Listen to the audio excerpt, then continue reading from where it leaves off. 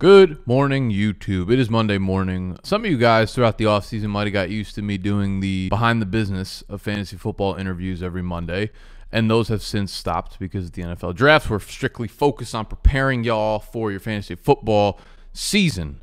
However, I was invited onto a friend of mine's show, The Notorious Fantasy, Nicholas, the fellow New Jersey native and I can't turn that down ever. And he wanted to interview me, such as I had been interviewing other people about the business of fantasy football. So behind the scenes, the lifestyle, the whole YouTube thing, you know, business and, and that kind of shit. So we filmed this a few days ago. I figured I would throw it up on my channel as well. Hopefully you guys will get some value from it. You will uh, get to know me a little bit more as a person, and what we got going on here at BDGE, the behind the scenes. I thought it was a really fun interview. So uh, if you enjoyed it, make sure you hit the thumbs up. Make sure you subscribe to Nick's channel. His stuff will be linked down below. And I always like putting this stuff on uh, on Monday mornings because hopefully it gets a, a, good start to your week going. So again, if you watch, I, I, really hope you guys enjoy this shit. This is a real, you know, behind the layers, peel back look at, at what we got going on here and who I am as a person. So I love y'all and enjoy. Yo, what is going on, everyone? My name is Nick, or the Notorious Fantasy, and today I am joined with Nicholas Ercolano of BDGE, obviously the big man over there, the king of YouTube. So today we are going to be doing an interview series where I just talk to Nick. I just ask him a bunch of questions, and he's going to answer them. They're not really based upon fantasy football questions. So should you draft Cam Akers or Clyde Edwards-Helaire? Obviously it's CEH, but who gives a fuck right now? So we're just going to be talking about the bigger type of things here that go into BDGE. So welcome in, Nick. Uh, if you have anything to plug, obviously they know who you are, so you can plug plug yourself anyways. Yeah, I'm, I'm happy to be here. I'm looking forward to the interview. I'm sorry this took so long to mm-hmm. kind of get situated. You know, it's crazy, crazy times, but uh, anytime, you know, we can get on the airwaves and, and talk about things that are not sports or fantasy related, uh, you can count me in. And uh, usually I'm doing the interviews for these kind of things. So it's nice to kind of sit back and relax and not have to worry about, you know, segueing through the interview and like paying attention to what's on the show sheet next and whatever. So I'm in a I'm in a good mindset. I think uh, we got two great guys with two great names, and I think we're gonna have a, a, great show today. So thanks for having me, Nick. Oh yeah, no problem. Yeah, for sure. Since I'll be doing the segueing, Scott, you can hit the intro now.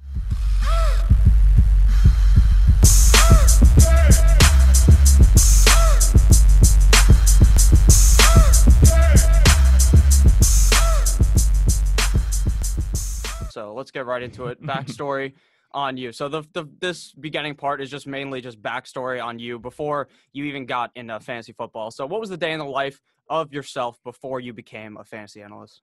I was working at a marketing agency in New York before I finally left and started doing content full time. So a day in the life would be me waking up early you know, trying to catch the the train to to New York. It was it was in Manhattan at the time. I would typically pull up to the train at like 7:53 when I knew damn well it was departing at 7:52.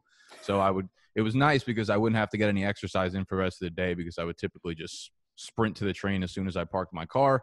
Uh, I'd ride into New York and I'd work the typical nine to six or seven, whatever the day entailed. Um, so I was working at an agency and then you take the commute right back home. So you know, very, very typical 22, 23, 24 year old entry level um, business position. And um, yeah, that was, that was kind of the, the day in the life for me. Yeah, I think crazy. they should get you. I think they should get you on Player Profiler so we can figure out your burst score if you're running that fast. So it would be obviously, yeah, definitely. So obviously you chose the name BDGE. So why did you choose that? What made you choose that? Uh, BDGE for any of you guys out there uh, that don't know, it stands for Big Dogs Got to Eat and this is uh i know it's kind of like a ridiculous name. I think when people hear it at first they're probably like what a, what a douchey fucking name. And i've, I've had comments like that before and, and that's totally fine. Uh, it goes back to it actually goes back to my my senior year in college. We have um kind of like a long story but we have a senior week right? If i don't know if, if any of you guys have like graduated college the last week of college before graduation is like this crazy week at least it was at at Marist where i graduated from and you have um you have all these days planned out. It's like a you know a beer Olympics, a, um, a bar crawl, a house party crawl, whatever. And there was a beer pong tournament, and there was like 84 teams in it. Right, it was my entire class, and each team had like a team of you know six people or whatever. And we had this this giant uh, beer Olympics, and my team entered, and we ended up uh, we ended up winning the entire thing. I'll fast forward to the end of it, and in like the semifinals, like with the last game of the entire thing was like a a boat race where you know you just line up your six players on your team and everyone just fucking chugs the beer and whoever finishes first would take the cake of the, of the game right and move on to the next round. And that was like the final game. And uh and i was the anchor on the team because for some reason i had like a really weird ability to chug the like that would be fucking elite on player profiler if they had that stat on there. So we'd get to the anchor of it and uh and for some reason i don't know why but like we we we finished the semifinal game i think and once i slammed my beer down i yelled out like big dogs got to eat right? Mhm. and that became like our credo for the for the remainder of the tournament. We had like three more matchups after that i think. And after we'd chug we'd slam it down and be like big dogs got to eat and we were yelling it just like a bunch of douchey college kids or whatever. And uh, and that became like a saying that me and my friends would say for a little while after that right? And it became kind of a part of my life. And then uh, when I wanted to start up the brand, I was like, what's a, what's a name that like, you know, isn't very typical, but it also like relates to me and my lifestyle and, and the brand that I want to por- portray to people. And I was like, yo, big dogs got to eat. Fantasy football is pretty good. Um, but realistically, what it means to me is, is that it's like the intertwining of a lifestyle brand, but also for people like big dogs in a sense are, are people that are willing to get outside of the the typical norm of the day-to-day stuff right and are willing to Yeah. put their creativity out there and they're willing to be judged by the world because i think that's you know at the end of the day that's how we make progress in things right you have to push the boundaries and push the edges a little bit otherwise we'd all stay stagnant and we'd all be in the same place so big dogs are the people that are willing to push the boundaries a little bit and gotta Mhm. eat is really like gonna eat right like these people who the people that are willing to do that shit are the ones that are going to innovate and they're the, they're going to be the ones that push the world forward a little bit at a time so that's really the, the the name behind it comes from you know my college senior week but what it means uh, I, I would hope would be a little bit more depth to the to the audience out there Okay, that makes a lot of sense. So obviously your YouTube channel name is your real name. So why did you choose that over maybe BDG or Big Dogs Got Eat? Uh, well, I, I would say I chose it in like when I first first started it in the beginning. It was just like, you know, I just typed my name in, whatever, and that's what it was, and I kept it at that. But I've kept it at Nick Ercolano because I don't think like I, I believe it or not for the audience out there, I don't like um and also just a a, a keynote in there. I, I also thought he was drinking a beer. We're filming this at, at like 10 a.m. right now, and I was like, total fucking power move for drinking a Bud Light right now. It is is not a Bud Light apparently. It's a I'm Pepsi. not sure I'm not old enough to do that yet. You know, we don't Yeah, drink yeah, underage yeah. here. You know. I'm sure all the kids that are 20 years old aren't drinking beers on the weekends anyway. No, I never do that. No. Um, so what was I talking? Oh, my the channel name. Yeah. So like Nick Ercolano, it, it's just like, believe it or not, I don't, I don't love like fantasy football is one part of of what I do. Right. It's like the content that I provide, but it's not who I am, you know. And I don't want like YouTube will always be my main marketing platform for me as a person, no matter what I want to do or what type of content I want to put out there.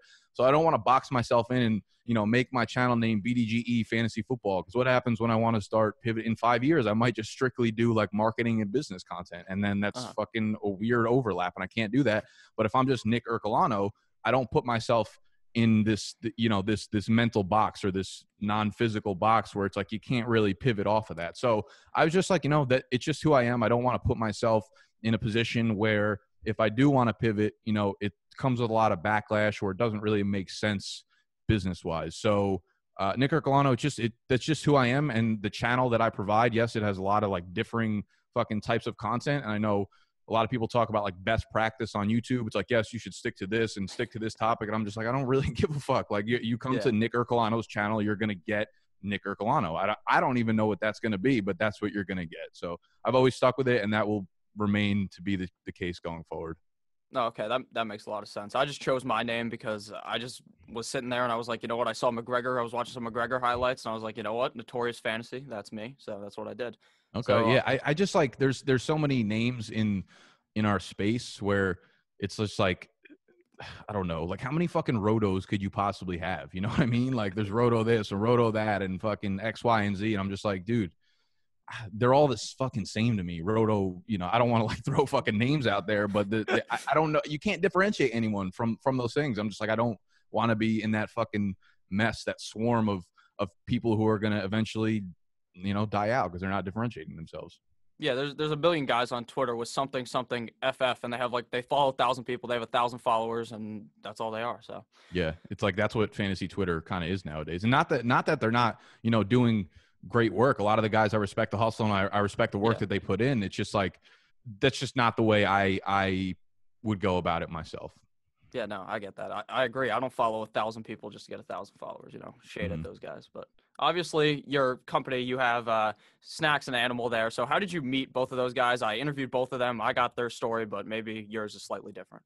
You think they were lying to you? And we have a, They we could have actually have a we have a different backstory.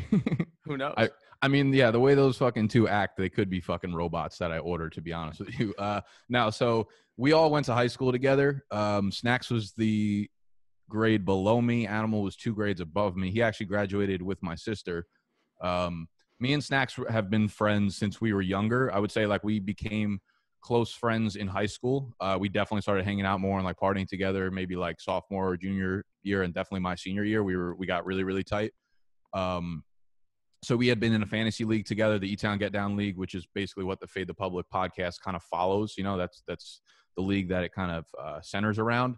Mhm. And uh, me and Nick had been friends for for a long time outside of fantasy, so we had known each other forever. And then Animal, we had an open spot in the league. I've always been like friendly with Animal, but I definitely wasn't like friends with him. I, I we went to a, a small high school, so it's like you kind of know everybody. You know, I graduated with like fucking I think 90 kids, and that was like considered a big class in our town. And I could tell you like every person's name, along with probably like fucking three fun facts about each person I graduated with, because we did school from pre K through 12th grade together.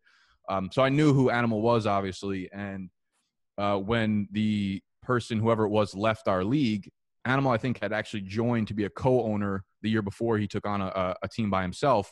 Uh-huh. Um, so we got close through fantasy football when he uh, eventually made his way into the E Town Get Down League. Oh, okay. That makes a lot of sense. So obviously now we're going to pivot into more talking about your content. So at the beginning, you pretty much emphasized the importance in using your business background to gain success. So at the beginning of your career, you were kind of with Fantasy Jocks. So how did that experience with Fantasy Jocks help you to get to where you're at now? And how did you also begin to start talking to Fantasy Jocks? Um, I think when I started, I- think I started very much like a lot of people in the industry start now. Uh, I originally I started blogging, and uh, I wasn't really sure like, you know, how to get my name out there. So I reached out to Fantasy Jocks um, to see if they wanted me to write some blog posts because I thought it was a cool opportunity. You know, you I, I think I, I reached out to a bunch of different sites like Bleacher Report and all these like big name sites that all like den- denied me right away but fantasy jocks was was was uh, a much better fit for me in the sense that their product like the blogs that i could put out on their website were way more um, like lifestyle and commissioner focused you know like it was about like how to throw the best draft day party and i'm like oh Mhm. this is right up my alley like i don't care about writing about like fucking julio jones's yards per route run but let me talk about how to fucking make a margarita at your draft day. You know what I mean? And I, and they were cool as hell. So I linked up with them. I reached out, and I think I probably wrote a sample for them or something. This was back uh, a long time ago. I was probably like 20 or 21 years old at the time, I think. Um, and I started writing blog posts for them, and uh, and it went well. And from there, you know, I started doing my own thing. I started writing for a, a couple different fantasy websites, and it, you kind of just like need that experience when you're starting off because you just have no idea what the fuck you're doing. You don't really know how to get your name out there. So you try things, you realize that they don't work. And then you're like, okay, I don't want to write for them anymore. I don't want to write whatever.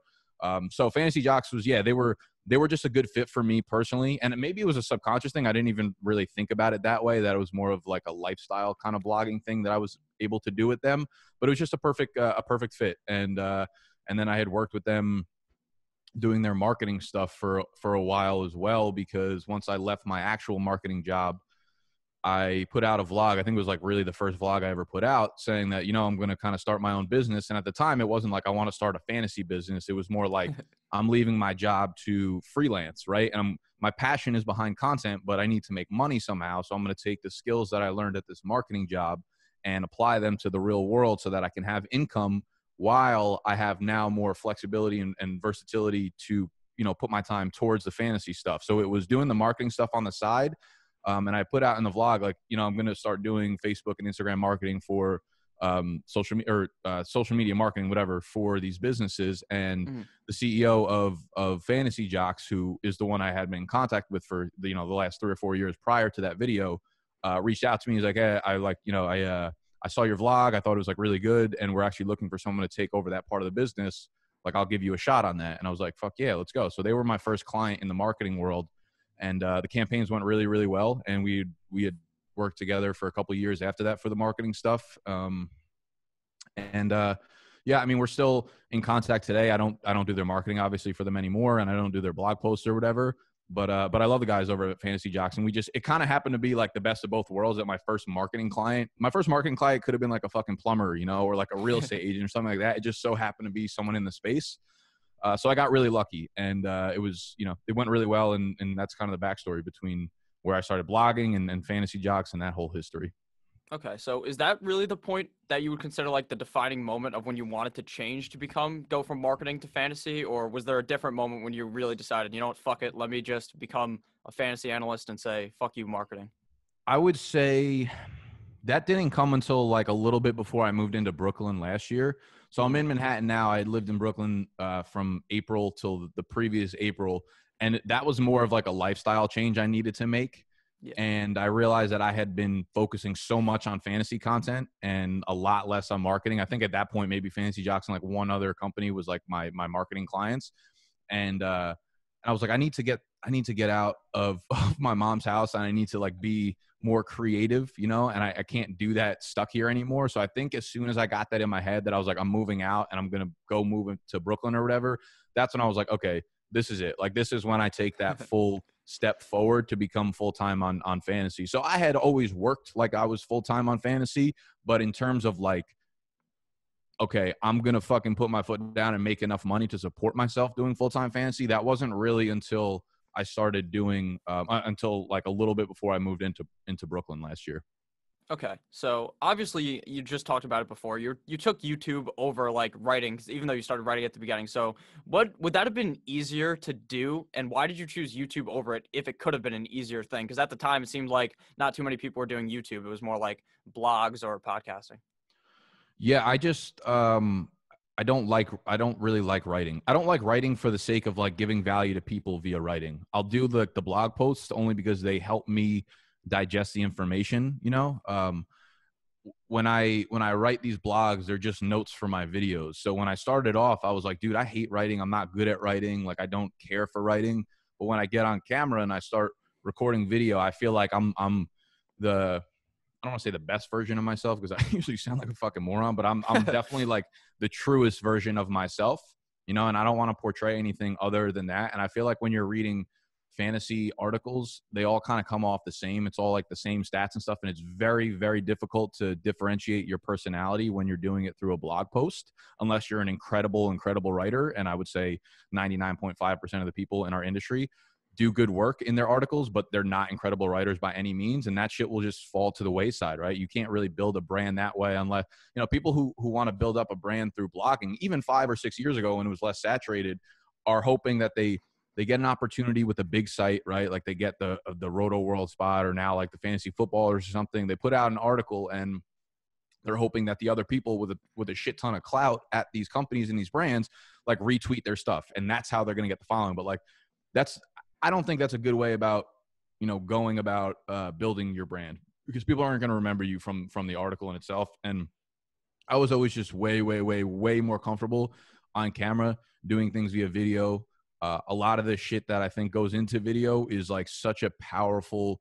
Um, it- it's just such a it's such a powerful way of building your audience and they become so loyal to you. Not even like loyal like you probably say a bunch of dumb shit and they're just like you're wrong about this but they'll still love you because they feel like they know you as a person. You know what i mean? Like you have friends who do dumb shit all the time but you still love them because they're your friends. Like that's the way that's the kind of relationship that you build with your audience via video that you can't do that via blogging and shit. So it was just a, a mixture of me being really comfortable on camera feeling that i presented the most truest truest version of myself and got my point across the way i wanted to get my point across you know Yeah, that, that makes a lot of sense. I tried to start writing and I was like, you know what? Let me read a bunch of Barstool posts and see how El Prez does it, try to write just like him. And then I end up Mhm. sounding like a fucking idiot. So I was like, yeah, you know what? it's This just is easier. it's it's just like writing is is you end up forming you end up trying to be somebody else in your writing you know what i mean like you take over a different personality just so you can come across differently but it ends up being different than like who you are it's very it's very difficult to come across as like a very good writer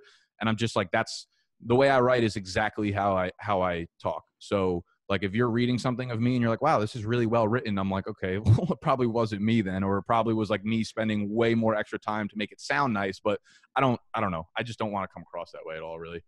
Yeah, I mean, that thing you wrote on New Year's Eve was like a goddamn masterpiece. So it seems like you're not that bad at writing. Yeah, that was uh that was uh I don't I don't really know where that came from to be honest with you. I kind of just like sat down one day and I was just like I'm going to fucking get in the zone and write this. I wrote that I think in, in one entire sitting and uh I don't know. That was I, I will I will give myself a little bit of a pat on the back. I thought that was that was well written when I went back and, and read it again. Um but typically I don't write that way, and I think that was may, maybe that was a little bit of, uh, of luck. But it, that was just like my true authentic self. I've had a, I had a lot of people I actually had someone tell me like a few days ago that they read it and it drove them crazy that I kept switching between like you, like Y O U, and the letter U during it. I was like, I, honestly, I didn't even fucking realize I was doing that, so I apologize. But yeah, I mean that came out well, only probably because the points within the article were um, were really like authentic and really transparent in a sense. You know, I don't think like the grammar. If you went back and read, I'm sure I have like tons of run-on sentences and, and shit like that that doesn't uh, bode well in the writing community. But um, well, thank you for uh, for the, the little the little positive plug there. I guess. Yeah, I don't I don't know what came over me for that to be honest with you. Yeah, no, I, I get that. I mean, I tried to write and I was writing the wrong there and stuff. I still do that in my papers for school. Like, I think my third grade English teacher just failed me or something because I have no idea which there to use at all. So, You obviously, still don't know? no, I still don't know. Like, it just auto corrects. I use that Grammarly shit.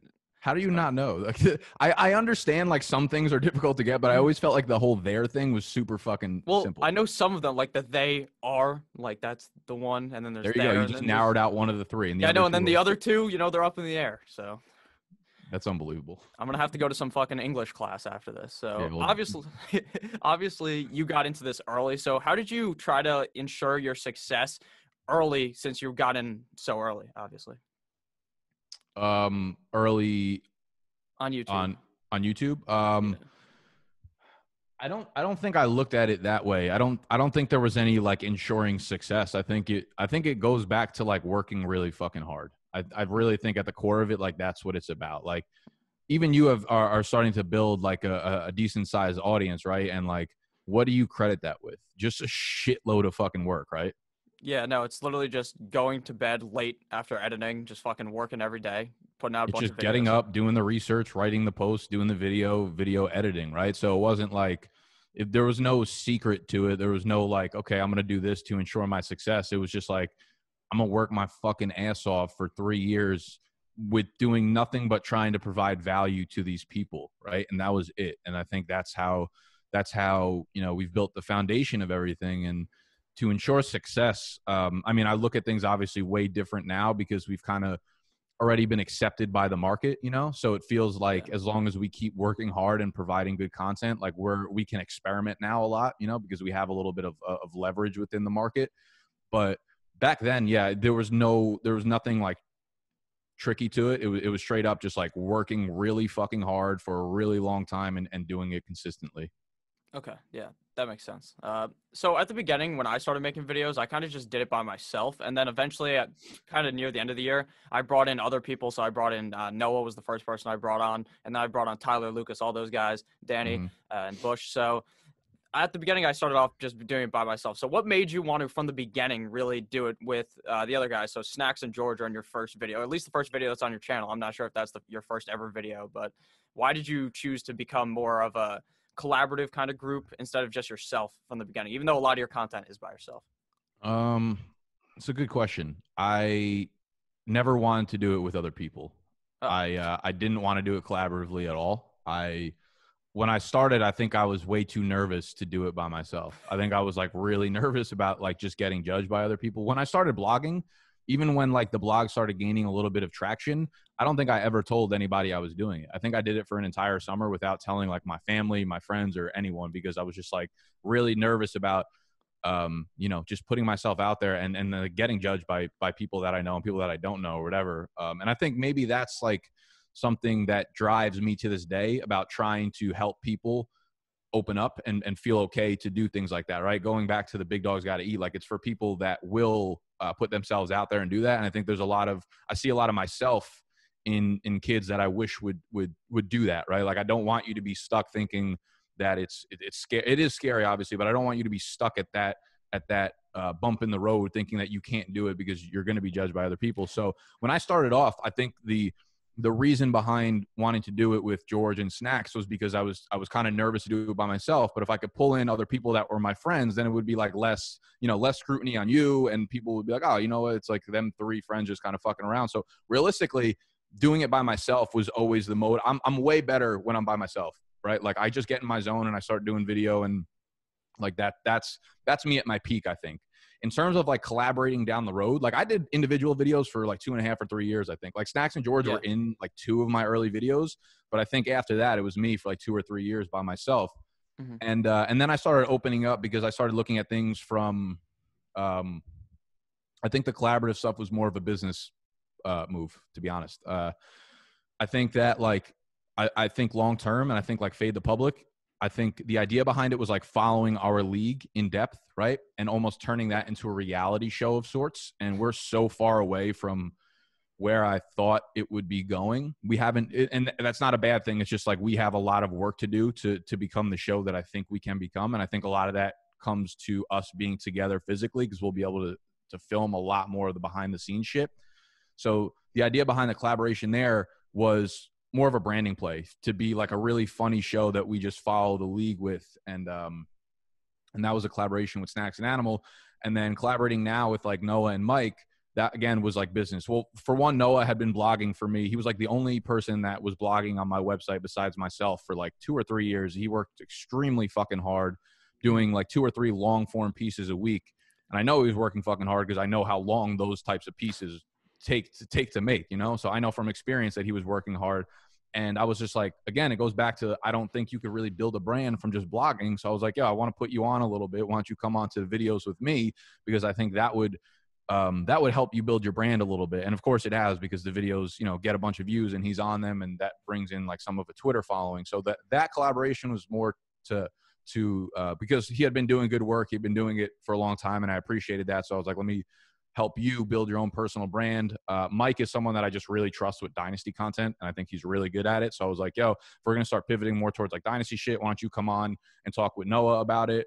And I kind of um, almost outsourced that content to them because one, I think they're more into dynasty than I am. And two, like as I start to need to work on other things around the business more so, it's awesome that I could have two people that I really trust putting out really quality content once a week on uh, on something like Dynasty that's relatively new and we can kind of take hold of of that piece of the market, right? Because it comes down to like I really really trust them doing that shit, and they've you know given me no reason not to because we've they've done probably five or six shows already by themselves where I'd be like, yo. I'm getting on with you guys tonight. Like, we'll do the three way. And then, like, 10 minutes before, I'm like, yo, something came up. I can't do it. And it's like, that's the last thing I send. And then the next morning they have a video up with the fucking, you know, everything's done. Like I don't have to worry about that shit. And I've been able to outsource yeah. to them because because I trust them. So long-winded answer. I'm sorry, but um realistically the whole collaboration shit was not what I wanted to do from the start. And to this day, uh-huh. it's not it's not what I prefer as my main pieces of content. I like to do not not because I like to be like the face of it, but I'm the most comfortable when I'm just doing shit by myself. Oh no, I definitely agree with that. I, I also like making content better by, by, myself. So I think it's funny how you said at the beginning you were kind of like scared to tell people because I didn't tell anyone at all. And then my friends were researching for their draft and they found my YouTube channel and then the group chat's blowing up. Holy shit, Nick! Look at you, you're doing this. Blah blah blah. And it's funny. I don't know. That's just a weird uh, story to bring up real quick. That but, is uh, funny. Were they giving you shit for it? No, they thought they, it was cool. Or they, they were genuinely like, excited. Yeah, yeah, they were like, "How do you have a thousand subscribers? I've never even heard. I didn't know you were doing this." And I was like, "Yeah, I do it every single day, multiple times a day." That's that awesome. Fun. Good for you. Yeah, definitely. It was great. So, uh, at the beginning, was it a challenge to? You kind of talked about this, but were you? Was it really a challenge to just figure out how to record and everything? Did you like have to watch some videos of how to set shit up when you're in wherever you were when you recorded those first few videos, or did you have to, or did you kind of know how to do it? Uh, no, I definitely didn't know how to do it. I had no experience doing it prior to YouTube. Um, but that shit is the easy shit, man. Just Yeah. like the physical stuff behind getting these videos done is the fucking easy part of it. You just get a shitty camera, you get a shitty microphone, and you hit fucking power on both of them, and you're ready to go. The other shit is the hard work, like putting in the re like researching for six hours for a 30 minute video, right? And then editing that hour of video to make sure that it's good quality content and then doing the thumbnail and shit like that. So, in terms of like physically getting the video done in the beginning, yeah, I mean, obviously the production quality was fucking terrible. And I still don't think it's really that good, but it's obviously improved tremendously since I started.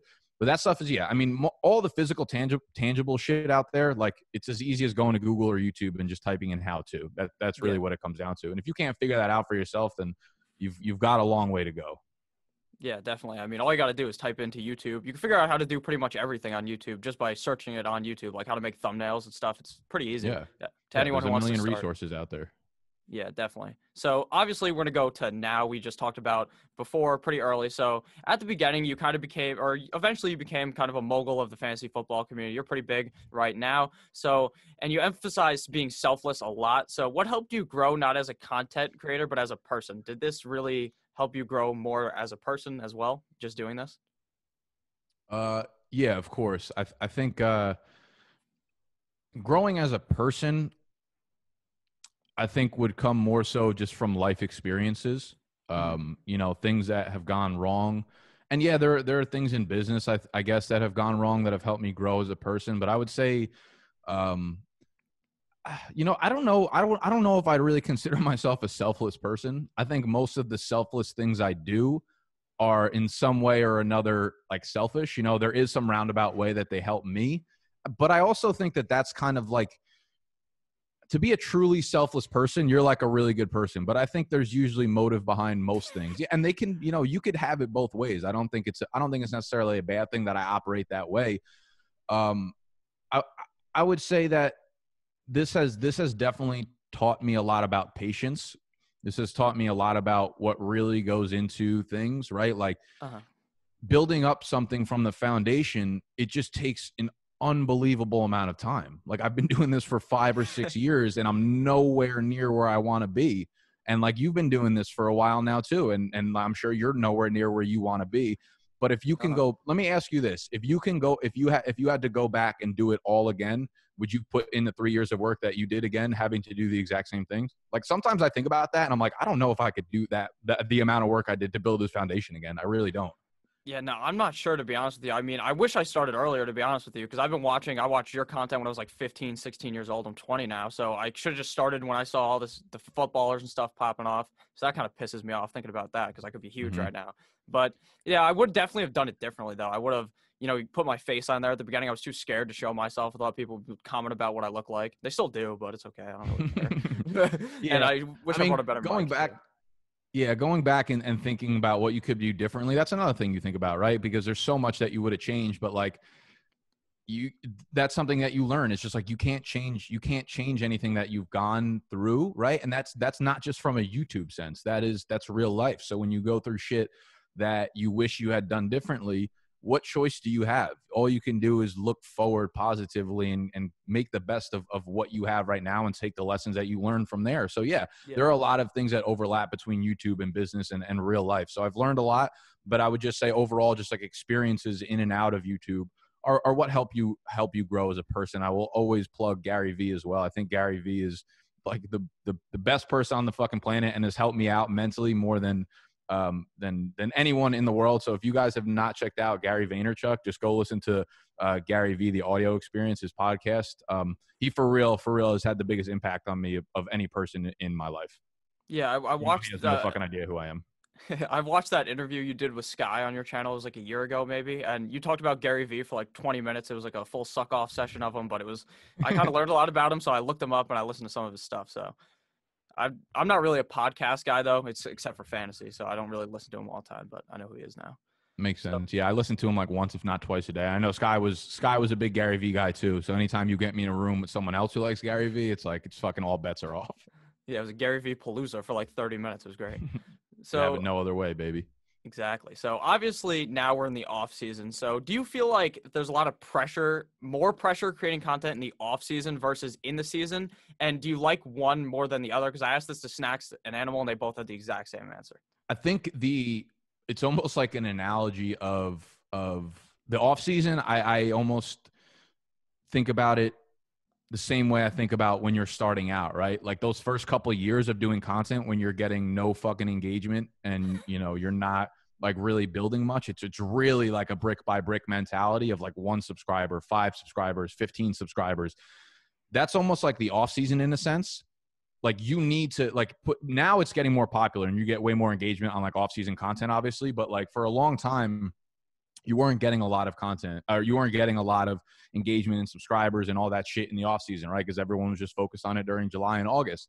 Yeah. But I think that's so important to have that foundation because you don't want people to just roll up on you in August and then look back and be like, okay, well, you know, he, it, I, you need to have that foundation there so people know that you have been working towards this and they know that you know what you're talking about. And that's the same thing with the beginning growth of it. So, uh, off-season content, there is there is definitely a heightened sense of pressure just because so many people are doing it now, right? Because Yeah. we have Dynasty becoming popular, and there are people who are niching down in that, and there, are, you know, every day there's like fucking 20 new YouTube channels popping up about fantasy football, and they're willing to uh, like when you're at that level, when you're down here. I'm just talking about in terms of numbers, not in terms of like the work or the content that you put out, but when you're down here.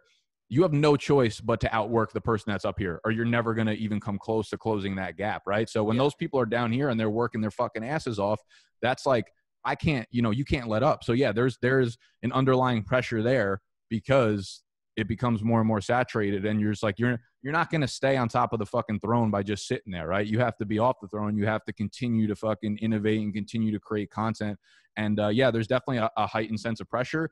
And uh, I watched both the interviews that you did with with Snacks and Animals, so I know what their what their answer was. And this is something I've said a few times before.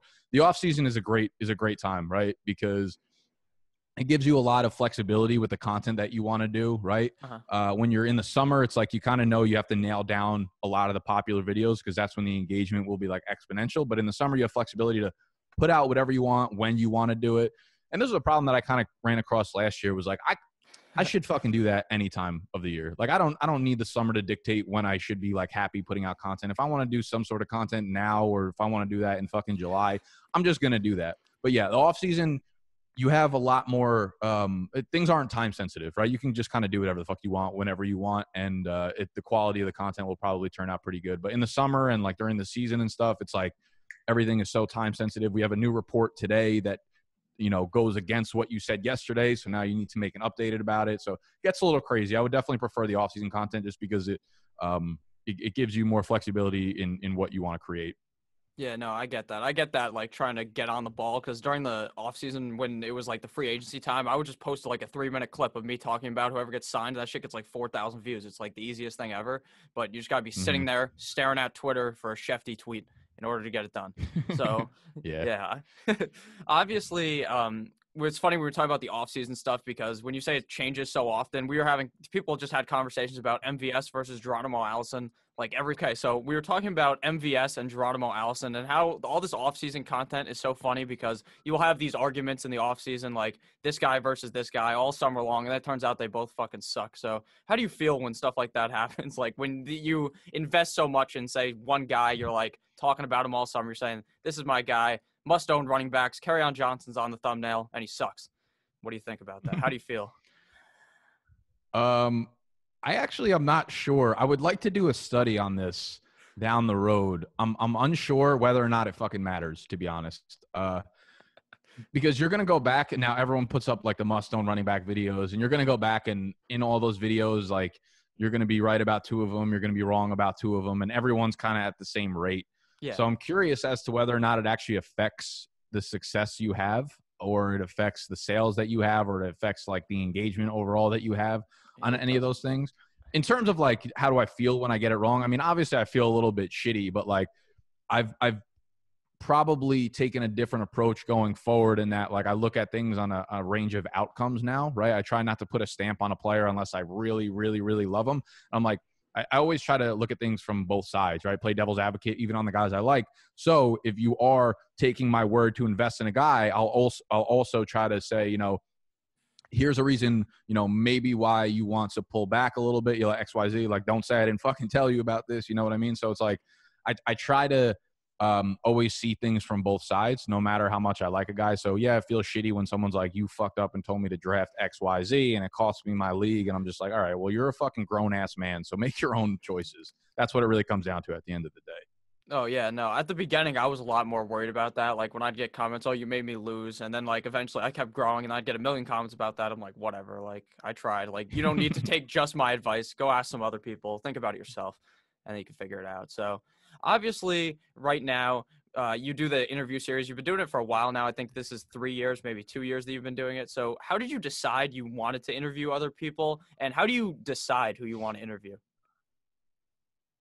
Um, that interview series, the behind the business, is something that you know I, I talk about how I don't really love fantasy that much, or I don't love like sports in general anymore, which is so weird because I was just like obsessed with sports growing up. Right, I played it my entire life and watched it and was such a fan and now like as i'm growing older as a person there's just you see like the lack of depth to what sports really are you know what i mean like i understand that there's like raving fans behind it and it does bring people together but the sense of sports sometimes if it's not something i'm like directly really interested in it's like a waste of time like i can't believe there that there are people out there who's like this is going to sound bad, but like whose lives are shitty enough that they're excited about this Korean baseball league that's about to start happening.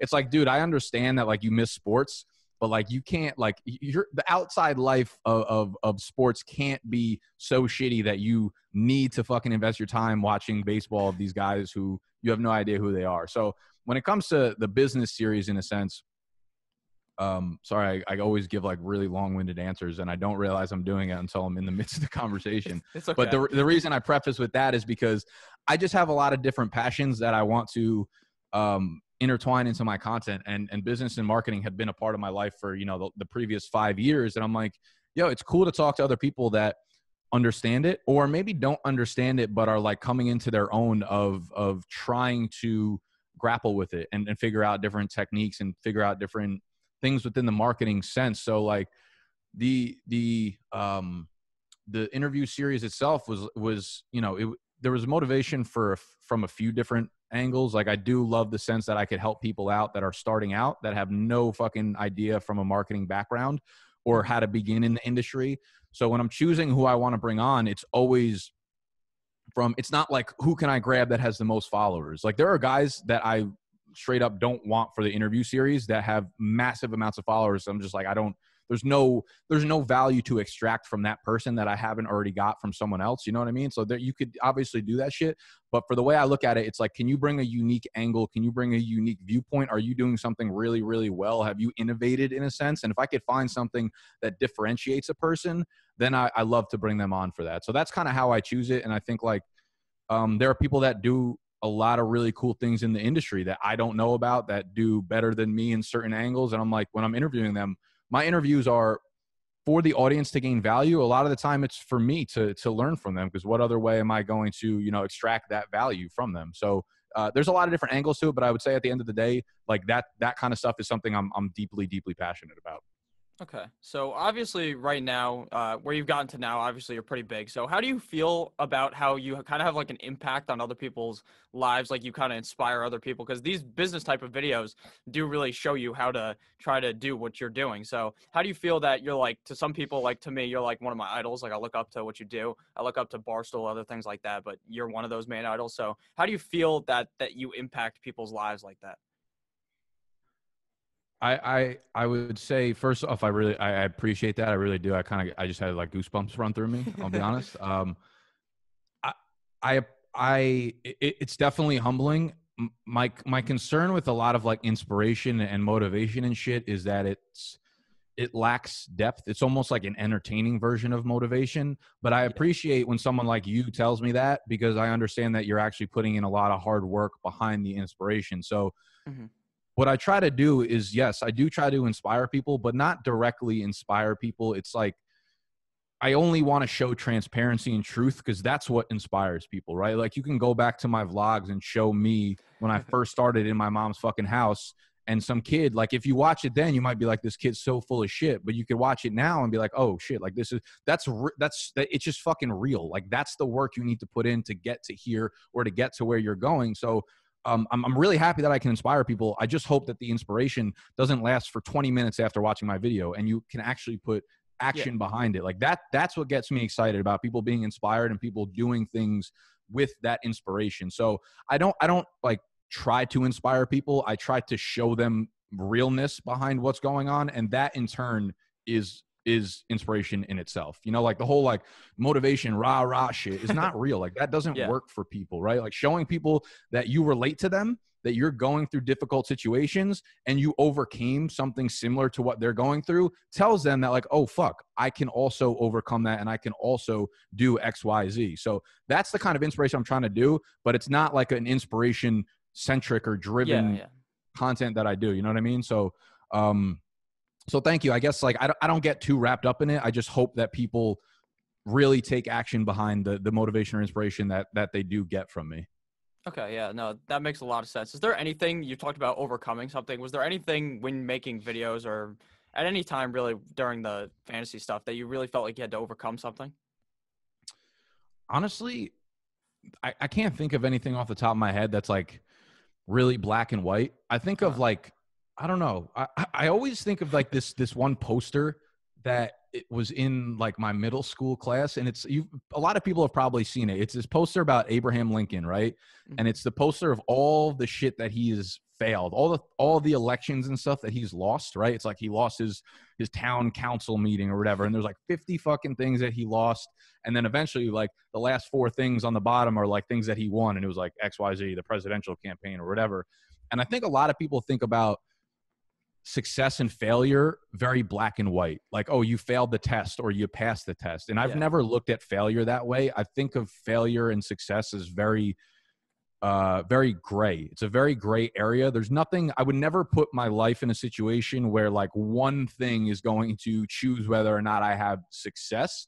So the overcoming thing is almost just like a day in and day out being in the right mindset continuing to stay motivated and con- continuing to stay true to you know who you are and what and what you're trying to build. So overcoming um, i would say like the hardest thing i've had to do was was continue to have a strong mindset and stay positive about things and you know deflect off of, of burnout and things like that. But i think as long as you're self-aware about who you are as a person and, and what you want to achieve um, you shouldn't uh, hopefully you don't put yourself in a position where like one or two things are like the difference between success and failure for you. You know what i mean yeah, no, I understand that. Maybe one of Abraham Lincoln's failures was like chopping wood incorrectly or something. That might have been on there as well. Yeah, that probably was on the fucking list, and it probably drove me crazy when I was 11 years old. Yeah, you were just getting so inspired by an Abraham Lincoln poster in your history class or something. Look, it's fucking Abe right there playing ball. Oh hell yeah! The new background's looking good. I like it. I like how uh, you moved it. Yeah, it's it's. uh I can't really figure out like what to do with this entire open space here. so I don't know. It it works for now, but there will there will be changes once we end up building the fucking table with that wood. We'll have a different background, but for now, for now it works. It's good enough. Okay. so obviously now you guys you started with the Slack and then you brought in the Discord. So what made you what was your inspiration behind that? Because I'm in the Discord, there's like a shit ton of people in there. Like if you leave the notifications on your phone will die in like 3 seconds because there's that many people talking. So how did you what was your decision behind doing that? Uh, the Discord was well, we started with the Slack and then we moved to the Discord. Honestly, the conversation I had with Joe Holka on my channel, him talking about Discord, he said it was just like a much easier transition for people to interact and also you can get your patreon members that go yeah. directly into discord which is cool but that wasn't really the main motive behind the, the community as a whole was really like yo, this dynasty stuff is really there for the taking. And if we become the middleman for everything in between, like not only do we provide the content, you get excited about the content. You're like, okay, like I want to talk about the content. Okay, I want to join a fucking dynasty league. And we're like, yo, why don't we also be that step to the process, right? So we kind of we want to take over the entire fucking food chain when it comes to dynasty stuff. So this was a way to build the community uh, within dynasty And when we start, you know, selling the products, the dynasty, the, the dynasty guide and, and all of this stuff, whatever we want to do, whatever, however we want to branch out in the dynasty world, we're going to be able to do that because we're building the audience behind it. And we're the ones that, you know, provide the infrastructure behind everything that you could want dynasty wise. Yeah, no, that, that makes a lot of sense. I joined a league on there, and the only reason why I joined it was because I was like, you know what? Let me uh, get into the dynasty. I make content about it. I'm fucking lying to the people if saying I don't. I never said I played. I only started making videos. The first one I made was with Noah about dynasty. Once I joined a league, but yeah, it's I saw that draft board. I saw the draft board and someone took David Montgomery at like 305 or 306. Yeah, I was like, Jesus fucking Christ. no, your your listeners are crazy, man. it was fun, but uh, Yeah, Yeah, I guess that- we got to start giving them better advice. yeah, honestly, fucking Noah and Mike are failing them. I guess I don't know. Yeah, I just thought that was fun. Well, I'll have a word with them after this. Yeah, definitely. Tell them not to draft David Montgomery that early. Hopefully they, they understand. so obviously now we're gonna go and pivot into talking about like podcasts. So I know you spoke about this at the beginning. We talked a little bit about Fade the Public. So and I talked to Max and Snacks about it as well. So what really inspired you guys to create it? You I know it's about like the league, but what made you be like, you know what, this will be great. Like this people listen to this. I just don't think there's anything out there that's like this. Yeah. Um, there are there are shows where you like follow leagues and stuff, but Mm-hmm. I think if we could put an element of, like I said, like a reality show behind it, but like real, like obviously we're not going to fake shit about it, like a reality show element to it, it'll bring people in and like really really excite them. So my my whole fade the public thing when I wanted to start it out was completely like a brand play. I was just like, yo, people are gonna love this shit. I think it could turn out to be something really, really, uh, really fun. And again, I, I, I we haven't gotten anywhere close to what I what I want it to be or where I think it could go. We're still kind of like doing a very typical podcast about shit, but we will pivot eventually, and it will be something that becomes much, much much larger. Like a, a it's going to be like a fucking piece of production when when each of those videos go out. It's not going to be just like a podcast thing. So um yeah the inspiration was just like this is going to be really fun for the audience and it's a way to follow a league in which people are really going to to to buy into not just like Yeah. following along when people you know talk about their league for like 10 seconds on a podcast Yeah, I also think it's funny if you look back at like the first episode of the show compared to now, like how different it looks. Like the camera's in a weird place. There's no microphones and stuff at the beginning. It's just funny. So, what made you really change to make it try to look more professional? Um, well, I, I would I would say like the first few episodes were like were irresponsible to fucking put out. There, there was such bad quality of, of like video, and there was one video where like I think my audio you couldn't hear for thirty minutes, and one Yeah, video no, where it's funny. the camera like blanked out for 30 minutes. Yeah. So it, it was almost like a forced choice. It's like, okay, we, we can't put this out because it's so fucking bad. But but but like animal and snacks were were getting like we're starting to get really into it. And I was like, yo, if you guys are down to it, like we can invest money into making this a better you know a better podcast. And it's up to, it's up to you guys to decide how far this the same thing i did with mike and noah and i'm like you guys are going to make this show your own? Like I, I mean that from the bottom of my heart. Like yes you're putting it on my youtube channel for the audience but like you guys will take it as far as you want to take it. That's the same ultimatum that i gave to animal and snacks you know? And i'm like listen i want this to be your guys' show. Yes i'm in the league and of course i have the experience with podcasting and shit but like you guys are ultimately either going to buy into this and make this your life or you're not going to and the show will go as far as that. And for the most part there have been instances where i do question the be completely honest the the um i guess the dedication to it from maybe from both sides but altogether it's like they they have bought into the process and they're just like i'm down to invest whether it's production quality or investing a shitload of time or resources or whatever it is. And uh and that's what kind of made us step up the production quality. I obviously want to make it good too because it's got my name on it and it's on my channel. Um, but it was a it was a team effort just being like listen we're going to go all in on it or we're not to and and we're not or we're not going to and uh and let's you know let's invest in making this better Yeah, for sure. Now I know you talked about this. I'm not sure which interview it was, but you're talking about how you wanted to make the Fade the Public like cookbook type of deal. So what really made you be like, you know what, this will be funny? Like, like what Uh, came into that idea? I never thought about doing it until, until like when we do video footage of the, those two fucking assholes cooking, it's like they have like a new level of like wit that unlocks in their heads and they're like funny and the banter is great and their like side commentary is super funny and I'm like, yo, this is like legitimately really enjoyable content. Like I love watching the videos of you guys cooking stuff. And I'm like, the audience will like that too. And when we can be together and make more video content like that, it's just, it's just, you know, I understand the value that we're bringing to the audience is is not like necessarily all the like you, you know bunk bed breakdowns and fade the public couldn't be further from each other in terms of the value that we bring to the audience, right? Like one is stupid, funny, reminds you of you being with your friends, right? Fade the public, and then bunk bed breakdowns is giving you the numbers and analytics behind dynasty shit. So I'm like, okay, long term plays like what what service are we going to be providing to the audience when it comes to fade the public? And i'm like we're not going to make like a, another fantasy fade the public football draft guide right? Like that's not what we're going to provide. So i'm like let's let's spin off. It's almost like a barstool thing where it's like their products are are their merch right? It's just like yeah. they're selling their lifestyle of being funny and being creative and shit like that. And that's the direction i see fade the public going right? So it's it's it's a it's a mix of being offering tons of different types of content and then making sure that whatever you're offering from that content is uh, relating to that content and what part of the content the, the audience actually likes. So I think like the cookbook, if we put it up for like 10 bucks and people who watch those videos see animal and snacks like cooking shit up, they're going to be excited. they're like, yo, I've dropped $10 on a cookbook from them. And I think like it would be cool to have like a video cookbook, but also make like 15 to 20 hand signed copies and send them out via the mail. Like I, I think people, I think that would sell well because those two are like really funny when they're in their fucking cook mode, you know? Yeah, I might have to just drive down to Mac's house and get one of those huge ass cookies he makes every night bro he like makes him like he had a streak in, in the beginning of quarantine where he would send pictures of it like every single day in slack and they're like this they're they're huge eh, but they looked really fucking good and i was like animal you've got a you've got like a secret there man. We need to unlock this secret to the world yeah. How did you feel like doing the draft stuff like for the NFL draft this year? Because I know I, I watched it after because I was live streaming. Snacks and Max came on, but Snacks was mm. just absolutely hammered when he got to come on my show. He was he chugging a bottle of wine. It was amazing. But how did that feel like doing that for so long since it's such like a long form type of deal, like six hours a day? Yeah, it was. uh I don't know. I don't. I don't know. I just like we thought of the idea like a month ago, and I was like, "Yo, we're gonna live stream for the entire draft." And I, I don't know. We had a lot of people stick around for the entirety of the thing, so it, it was definitely fun. I, I would. I don't. I want to say I'll do it again next year because hopefully I'm, I'm I'll be physically wherever the NFL draft is. That's that's another fun trip that we're probably going to look to plan.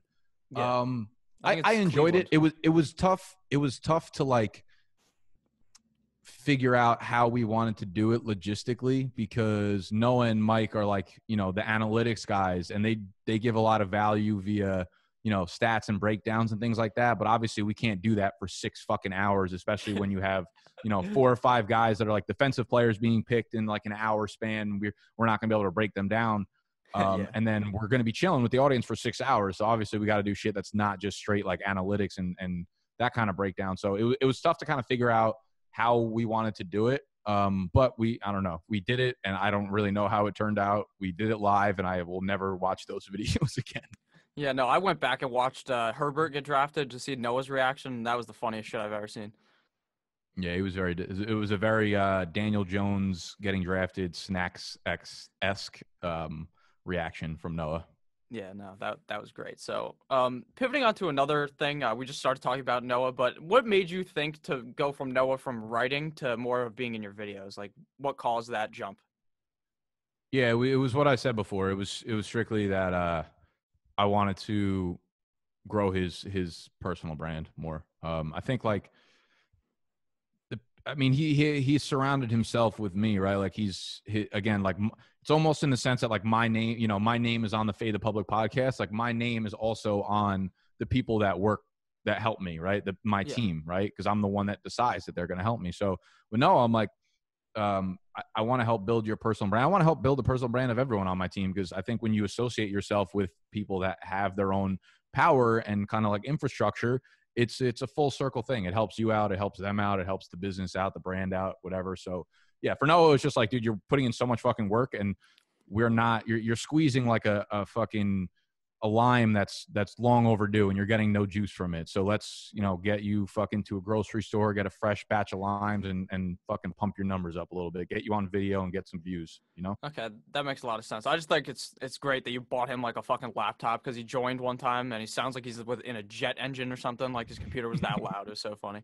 But uh, Yeah. obviously, we were talking about Noah. So obviously, he's one of the members of Bunk Bed Breakdown. So what made you want to put a show that's not necessary? I mean, Fade the Public is your show, more of your show than Bunk Bed Breakdowns, at least looking from the outside in. So what made you want to bring in Mike and Noah together to form this show? Uh, Mike is just someone I really trust with dynasty shit. Like he's better at dynasty than I am. And Mike's been like a long term follower of mine. He's probably been subscribed to the channel since like you have. And uh, he's always someone that has like commented in the in the comment section of the videos. And then he came to the New York City um, live draft vlog weekend for both weekends so far. He's come back to back, and since then, obviously, we formed a friendship. I me and Yeah. Snacks met him in um, in Nashville for the draft last year.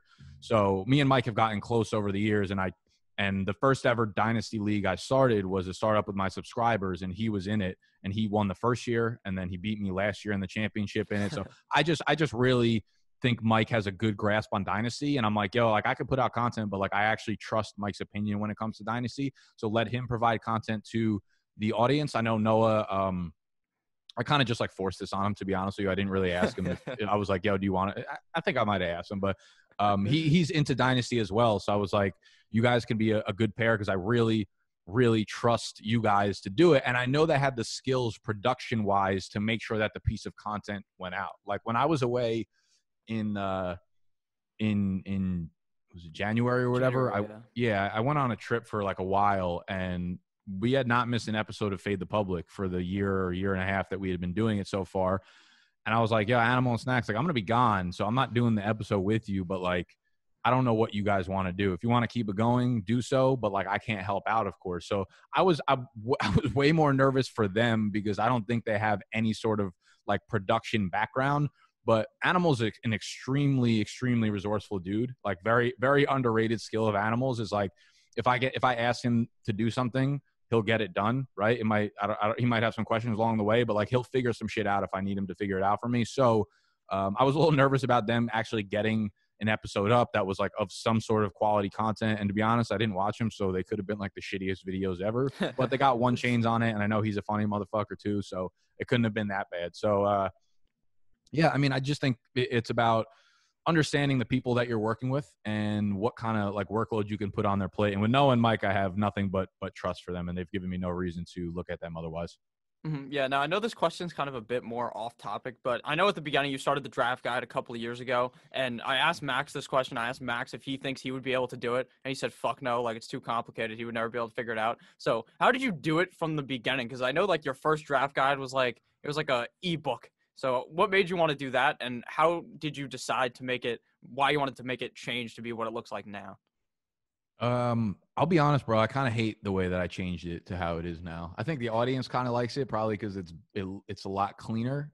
Uh-huh. That first draft guide I did, I will never in my life forget that, bro. It was like it was like 200 pages long, and when I tell you, like, how did I create that? That's something I could never go back and do again. I think I put like hundreds and hundreds of hours into making that thing. I went page by page, like designing it and i'm like bro i respect my like 24 year old self so much more than i respect who i am right now because of the work that i put in back then so it was like uh i had just been putting out a lot of content for a long time for free and it, and my mindset wasn't like okay let's try to make some money i was like what if you know what if i put something together where you know, something i've realized very quickly in business is that people don't necessarily pay for information or something that they're finding valuable what they're paying for is is organization.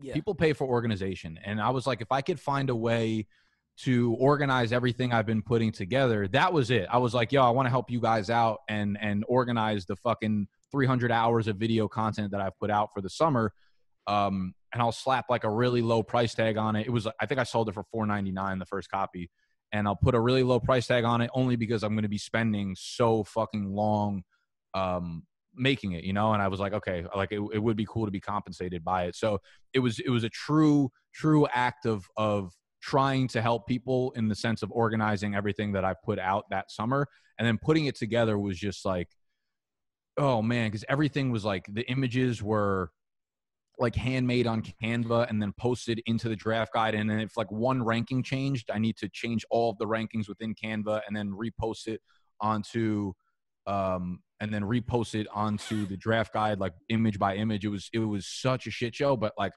man, I love that first draft guide so much. Like the heart of it, the heart of that product was like one of the best things I think I'll ever put out. Yeah, I mean, at least you're not drawing the pictures like Max was for whatever that shit was that he wrote up. That was so funny.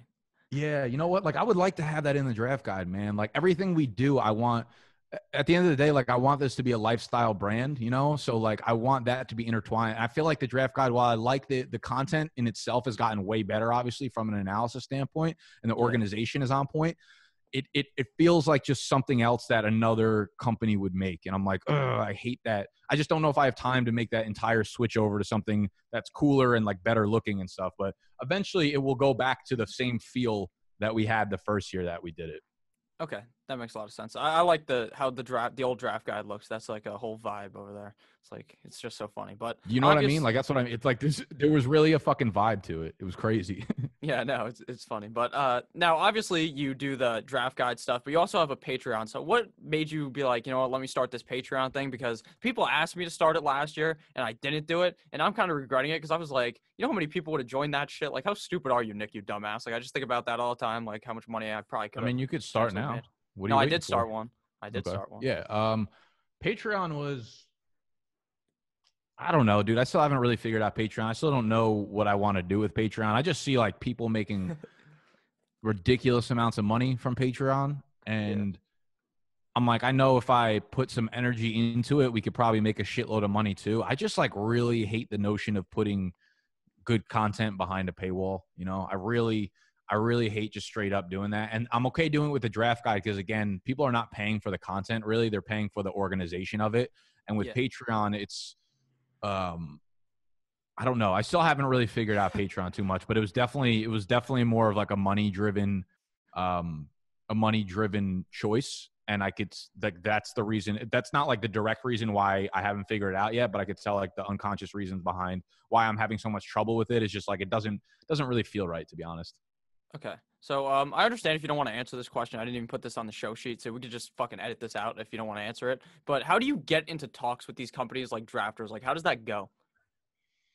Um, it depends what stage of like content creation you're out you're at. Mm-hmm. So a lot of the a lot of the companies that I've worked with so far have been like Fantasy Jocks, of course. You know, I, I gave the history for that. Some of the other sponsors that we've worked with have just come from me reaching out to them. And I'm like, yo, this is a really, really good fit. Here's what I have to offer. I'm going to email, you know, the head of their marketing company or whatever. Some like me working with Draft was just like a beautiful fucking. I posted a, uh, posted a tweet of a of a mock draft I did on the Draft app or Draft website or whatever, and I put a video clip of it on Twitter, and someone commented under it like, "Yo, this is fucking awesome." I was like, thanks. I looked at the guy's page and it was like head of marketing for play draft. And I was like, oh shit, like he works at draft and he just watched the video. Like if, if he liked this, then I can make videos like this all the time for them. So I reached out to him. He happened to live in Brooklyn. Um, we, we got drinks one night. He took me into like the FanDuel office a couple weeks later. We signed a, a, an agreement with it. So that was just like a, a, a strike of luck, I guess you could say. But with drafters, I'm at the point where like I can provide exponentially more value to a lot of companies than they can to me outside of paying me a very high premium because like yeah. we as content creators have all the leverage you know? Like companies companies they can't sell their product or service unless someone's fucking buying it. And the people yeah. that they want to buy their product or service are the ones that are watching us. So they have to come through us in order to sell their products. And obviously, we don't have a, a, big enough audience to be like we control, you know, how your fucking product works and you know who buys your product and shit. But at the, at the core sense of content creation, like we as an entire community of fantasy football podcasts control the audience and control yeah. the customers in a sense. So reaching out to a team like Drafters. I was just like, if this is the value I can provide, like, are you interested in having a, a partnership? And knowing pretty well that like of course you know they're going to want access to my audience so we can make something work and is um Yeah, it's kind of knowing where you're at in that stage and what leverage you have over your audience, what leverage you have over the company, and and knowing that it's a it's a good fit for both sides, and understanding that the value you have to be able to convey the value to these companies um, very well when you reach out to them first, and they you need to let them know that like your main interest is providing value to them. Okay, that that makes a lot of sense. I know with my sponsorship, I won't say their name because it's going on your channel as well. But obviously, they they hit me up, and I then started you could working say with it. I don't give a Uh, shit. Overlay DFS, they're a c- company that does like DFS sports. But yeah, they Mm-hmm. they just DM me on Twitter. We're like, hey, we're very interested in this. We watch your videos. I talk to them all the time. They're very nice there. So I just thought that was a little different to what you said because you did you reach you reached out to them right? Um, for who? Uh, for well for fantasy or for uh draft. Yeah, yeah, okay, yeah. I would say the actually the majority of them I've reached out for. Um, I work with Monkey Knife Fight now, and was they gonna ask a reached out. They had reached out to me. it's actually funny. They DM'd us via via Instagram, and uh, that's how they found us. And I was like, yo, you know, we have like a, a pretty like sizable YouTube channel. I think that would probably be uh, a better fit for us. So they had reached out to us. But yeah, a lot of companies will do that. They'll just find creators, and it, I mean, it makes it doesn't make uh, sense not to not for them to work with with creators because at the end of the day, they don't. A lot of the a lot of the contracts that you'll sign with them, you're not getting paid unless someone signs up for their product. You know, so it's really no. Um, it's really no downside for the company to to partner up with as many creators as, as possible. Okay, so with the monkey knife fight thing, what did you come up with the idea of putting the draft guide with it, like that type of package, or did they just come up with that? they pitched that to me. Um, I remember they.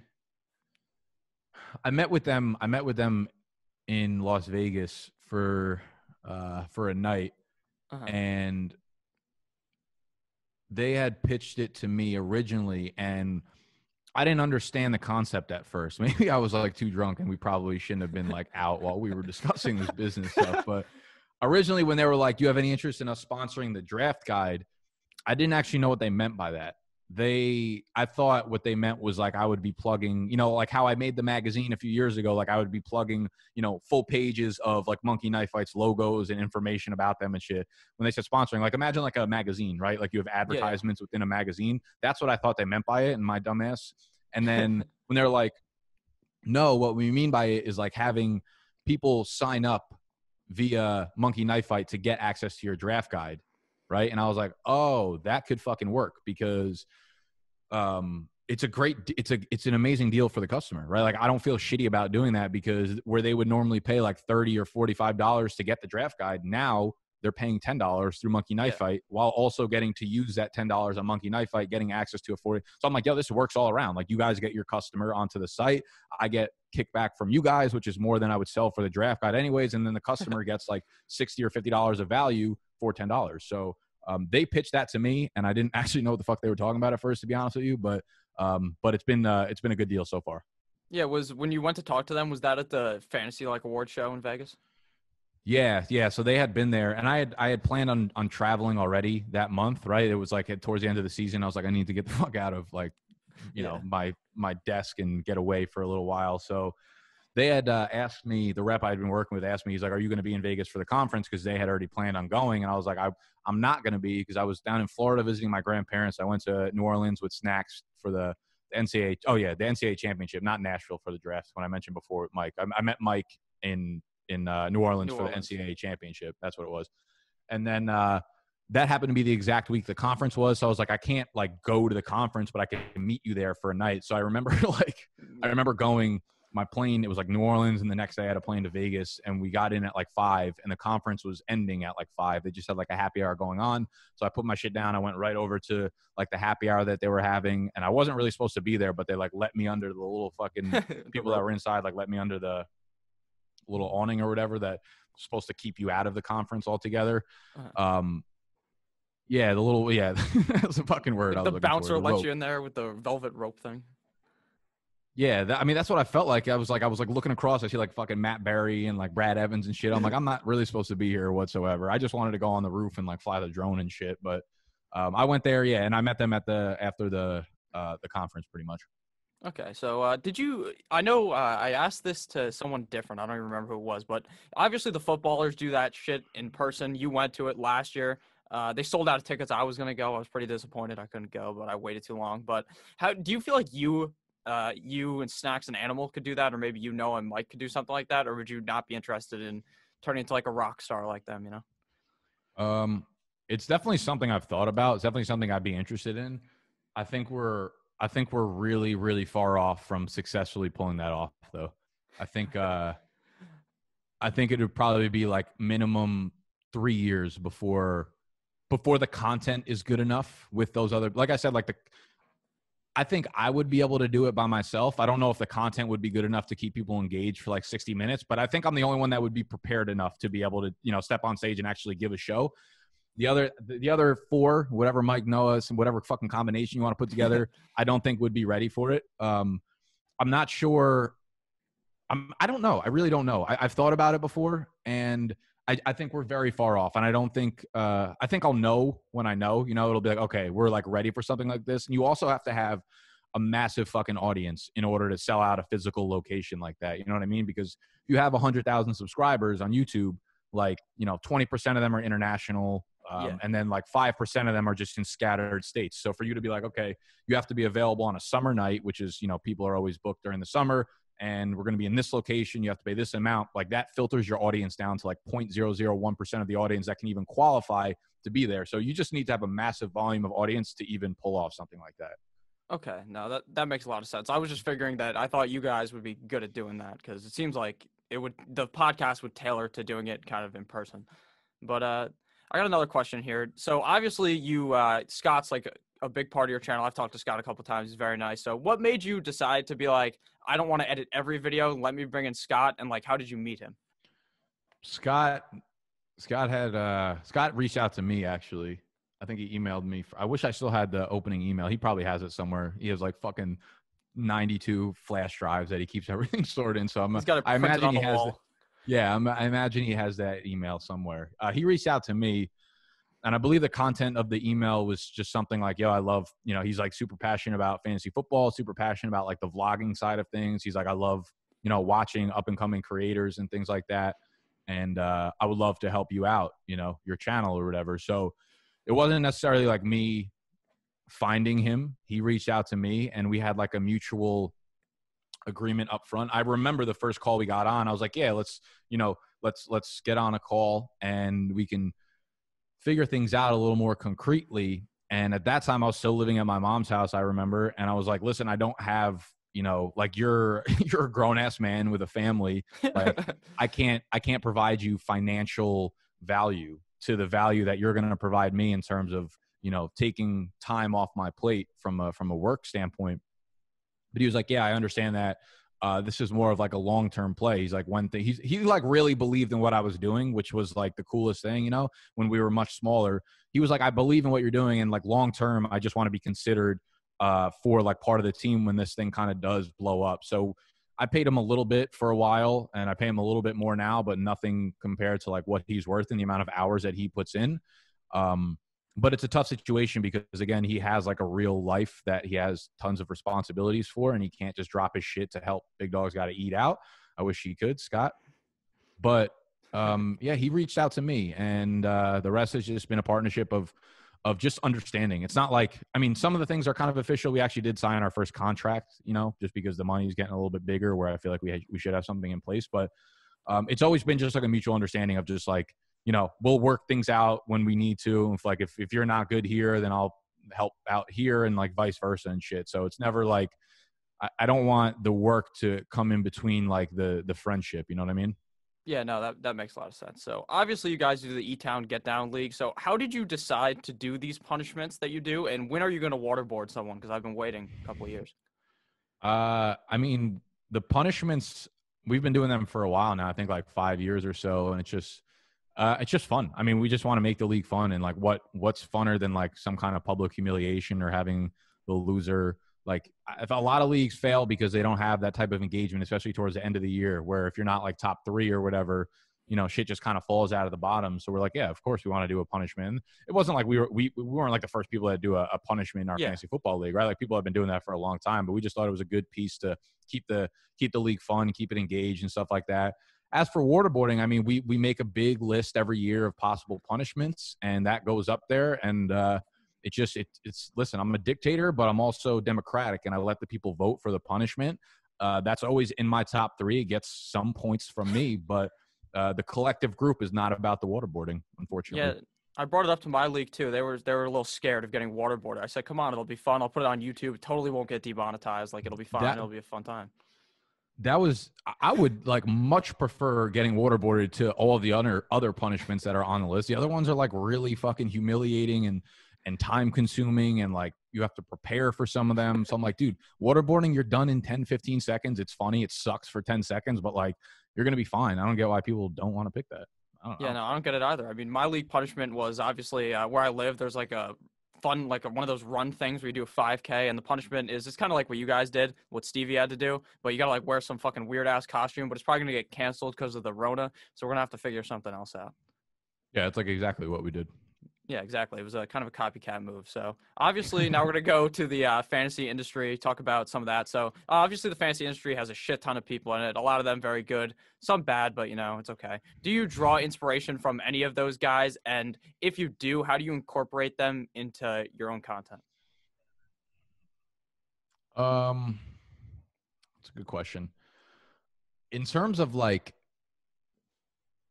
inspiration, uh, I I do get inspired by some people. Like Brad Evans was someone that I was inspired by because he was he's always like his goofy ass self, you know. And I was always like, eh, you know, he built like a really strong brand based around like tequila for one, but like you know, just based around him being this like eccentric goofy um like funny guy and i was like yo like people you don't have to be so serious when you're doing this stuff and people can still like love you. So i i appreciate the authenticity behind behind brad. Um the footballers are an inspiration to me in terms of like the way that they've handled business. Um extremely extremely intelligent guys who are very very driven to to stay with you know the reason behind they started the reason behind like why they started the business and their their ability to despite becoming like almost mini celebrities in a sense especially within our space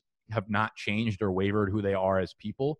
Um, so that's e- especially inspiring as you continue to grow as as a person. There are a lot of different you know opportunities and things that that kind of come at you and it can be tough sometimes to you know keep your head level and and and continue to uh, pull inspiration from yourself for like the reason why you started things you know? So those those are the first two that come to mind. I think a lot of people inspire me just just the the massive amount of hard work that goes into content creation. Like even like nick like even yourself just like doing it every single day is something that inspires me because i'm like yo these Mhm. kids are out here really fucking working and it makes me want to get up and and make sure that i'm putting my fucking head into the books and doing the research and doing the editing and things like that. So um again it goes back to like truth. It's like people being authentic and people working really hard is what inspires me. Um yeah i would say i would say that's probably like uh probably the end of the list for for like pure inspiration Okay, no, that, that makes a lot of sense. And I appreciate you saying that too. So how how do you feel like the market about fantasy football could be like any better? Because I feel like some people they don't market themselves good enough, stuff like that. Um, I, I would say it's like a good problem to have. It, it's another reason why I started the business interview series is because a lot of people don't understand the opportunity that's that's at hand, and uh, they don't have to, you know, they don't have to take the advice from that show whatsoever if they don't want to. Maybe they're happy just putting out content. I think the problem within the industry from the marketing side is that people don't have experience it's a good problem because our industry is made is, is, is single-handedly created on just like straight passion you know people in our industry didn't start because they thought there was money there there is money flowing in now but almost nobody that started you know blogging or youtube or podcasting did it for money they all did it because they were really passionate about you know fantasy football so um in terms of like doing marketing better you're seeing a lot of you're seeing the changes happening now right you're seeing people like I made the draft guide and then like, you know, 10 different YouTube channels started making their draft guide, which is completely fine. It's a successful thing. You, you know, you see what works and then you start to do it. And I think that we see that a lot like with establish the run like those guys took their personal brands and realized that they have so much fucking leverage over the money over the the brands and the deals that they make that they started their own thing And then you see Graham Barfield and Scott Barrett and these guys make the fantasy points thing. And I'm like, I'm surprised they didn't do it earlier. And we're going to continue to see the people with the biggest brands start to understand that they have all the fucking leverage in these things. So, Yeah. um, yeah, in terms of um, in terms of that, it's like I, I think content creators need to realize that they they are the fucking heart, soul, and the brain behind everything that happens within our industry, and you can't give leverage over uh, over yourself to to brands and stuff. But in terms of like uh, also, you know, the platforms being on different platforms, um, people are that's another thing. You know, I've gotten on I've gotten on calls with almost every big name in the industry since I've done the business series. I've had a ton of of the guys in the industry reach out to me um, just to get on a call for like an hour to talk to them about you know YouTube and and and this kind of stuff. And the the the thing I notice immediately is that because they've built a following via Twitter or a podcast, that they think they deserve to have a following on YouTube. And I'm like, that couldn't be further from the truth. Like, there's a whole nother. This is a whole nother platform you need to be on. Like, and a lot of people are stuck in their older ways where they've built this leverage from Twitter or blogging or whatever. And I'm like, that's incredible. And you have that audience, but that audience is not like, there, there's a reason they read your blog because they don't watch YouTube. So they're not going to follow you over to YouTube. So, um, people need to, I, I think it's, it's, it's sort of ego driven in a sense, and people need to be able to put that aside. So switching to new platforms and keeping your eyes open for where those things kind of emerge is, is another thing that people don't really do too well at in this industry. Yeah, I was gonna ask you, what do you think YouTube is the next biggest platform, or do you think it's something else? Because I noticed on Twitter, someone sent, they tweeted this out, and it was like some guy's fantasy football TikTok, and has like five hundred thousand followers. I'm like, how the fuck? How is there? I thought this was all eight year olds on TikTok, but apparently it's not. Yeah, I, uh, I it was Pe- Peter uh, over overs that I think posted that right. He was like, uh, "This is inspiration that I'm not working hard enough on TikTok." I saw that a few Yeah. people sent that to me. I don't. Okay, so the way I the way I look at it is like, there's not one right platform. There's a right platform for you. Like people who don't have a following are the ones that need to be really open to the new platforms because there are going to be land grabs, right? If you're mm-hmm. just starting, you can't expect to build an audience via podcasting or via blogging or even like via Twitter. And it's you're seeing it, bro. There are so many channels popping up on YouTube. So it's going to be harder and harder and harder to do that. I think YouTube I think YouTube needs to be like the core, the staple of of the content that you're putting out right now. Um, especially in a time where we're seeing brands start to differentiate themselves in fantasy football. Um, YouTube is really, really, really strong in terms of a branding play, and that's the only thing that's going to start separating all the fucking rotos from each other. You know, like actually having that connection with your audience.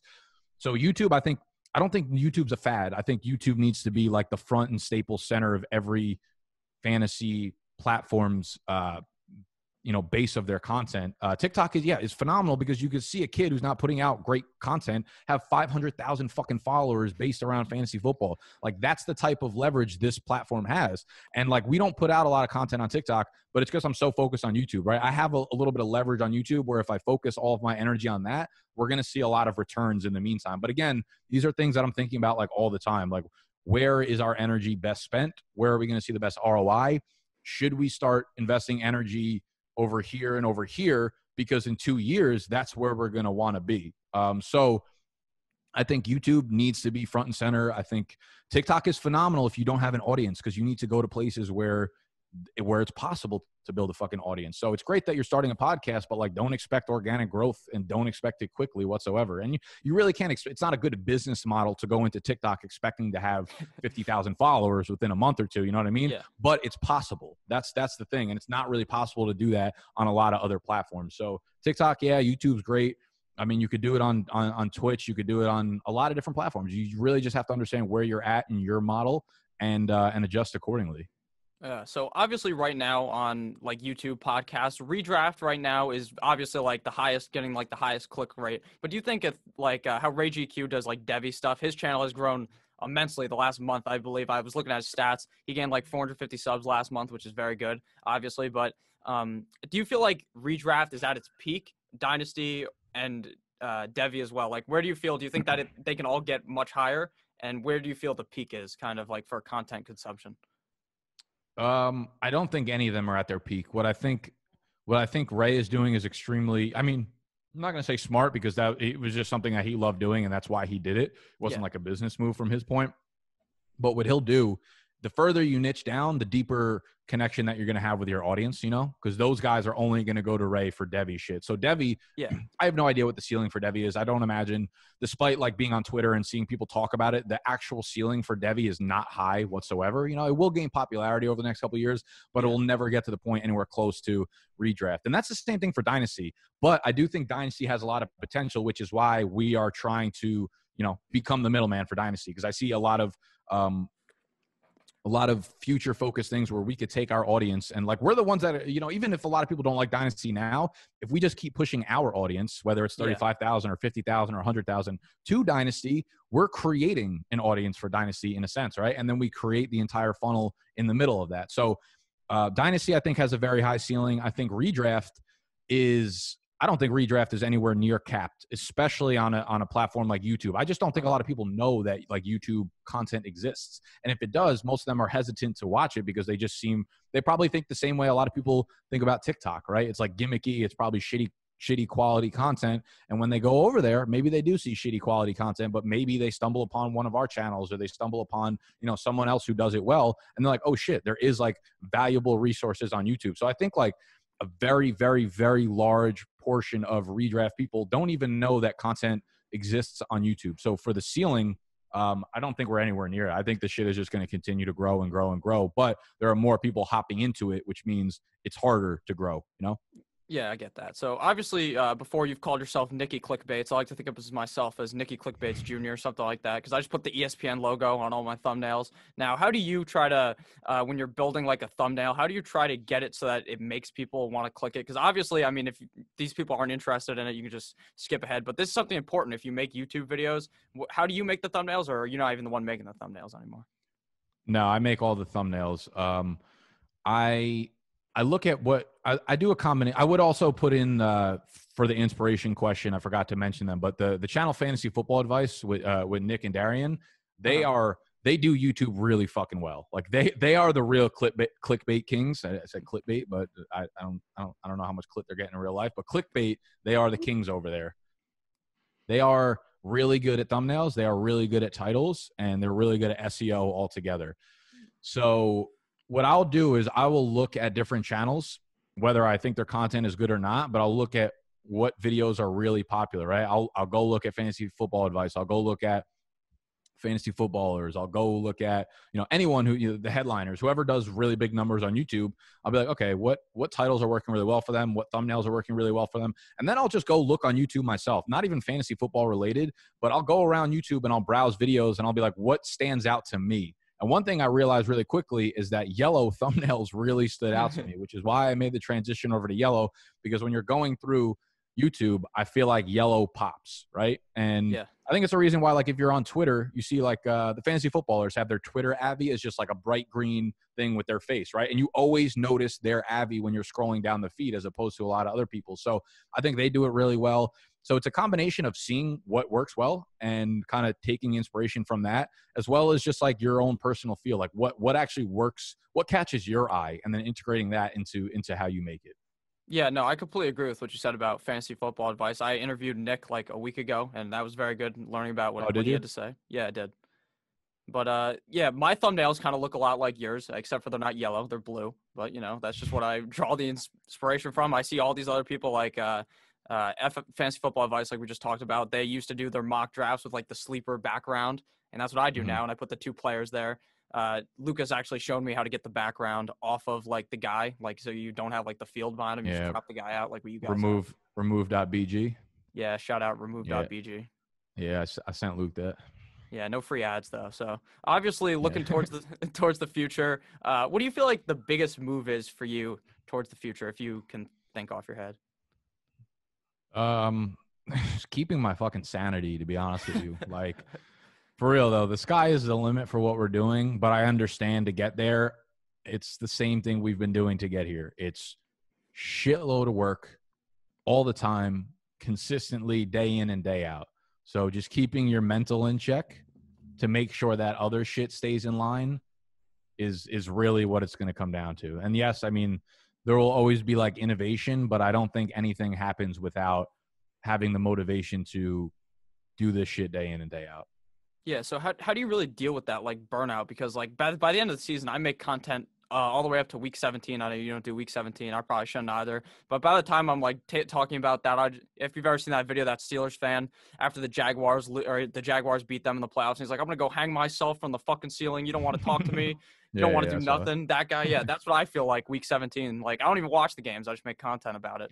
So what Yeah. do you? How do you deal with like that burnout? I know you went on vacation this year, but how is that like gonna? Are you gonna have to do that every year, or how do you like pace yourself? No, that's that's better? not a that's not a long term plan for that. That's that was putting a band aid on a fucking sinking ship, pretty much. So, um, it's I think it comes down to being like really fucking self aware about what it is that's making you burn out. I think uh, it goes back to something I said earlier. I think in the interview about figuring out what type of content it is that makes me happy and I enjoy making because if I feel like I'm secluded to making that content only during a certain time of the year, then during the times of the year when I'm not doing that, that's when I'm going to get burnt out. I think you could burn out because you're either doing something that you're not passionate about or you're trying to scale too quickly.